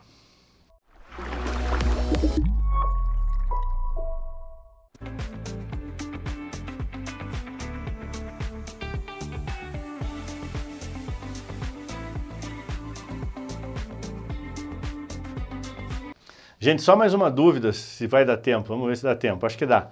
Só mais uma dúvida, né? O Enzo está perguntando: o material sobre juiz das garantias será atualizado na plataforma? Será quando a decisão for publicada. Não tem como o professor atualizar agora sem a decisão publicada só com base na ata de julgamento. Ah, professor, mas eu estou estudando para concurso, como é que eu faço? Você pode, por exemplo, assistir essa aula e mais que isso, Pega a ata de julgamento, você tem acesso entrando lá no Código de Processo Penal pelo Planalto, vai lá no artigo 3º-A, qualquer um deles, tem lá as ADIs. Você clica nas ADIs, entra no site do Supremo, está lá a ata de julgamento. Duas ou três folhinhas que você dá uma lida junto com as disposições legais. Isso já é suficiente para nortear, né? Enfim, mas é, não dá para a gente atualizar o material escrito, todo ele, tem várias repercussões aqui e acolá, sem uma base formal, sem segurança jurídica, porque senão o professor pode induzi-los a erro. De repente eu entendo que o Supremo decidiu assim, publicam a decisão e não, o Supremo entendeu assado. E aí eu passei uma informação equivocada. Compreende a dificuldade? Então, o professor está trabalhando aí, eh, pisando em ovos, como se diz, nessa questão, justamente para não induzi-los a erro. E, e a melhor maneira de fazer isso, insisto, é assistindo as aulas em vídeo, é tendo acesso à ata de julgamento, mas vamos deixar a atualização mesmo de todo o material escrito, de toda essa base, para quando a decisão for publicada, porque assim nós fizemos durante todo o tempo em que estivemos aqui no Estratégia. Decisão válida, decisão que eu posso me basear para alterar, é aquela decisão publicada com os votos que a gente possa ler e tirar conclusões seguras para evitar especulações que sejam equivocadas e que possam induzir o, o aluno a erro. Beleza? Então acho que era bom eu complementar com essa informação para ficar claro. Grande abraço, fico aí. Ah, tem mais uma dúvida?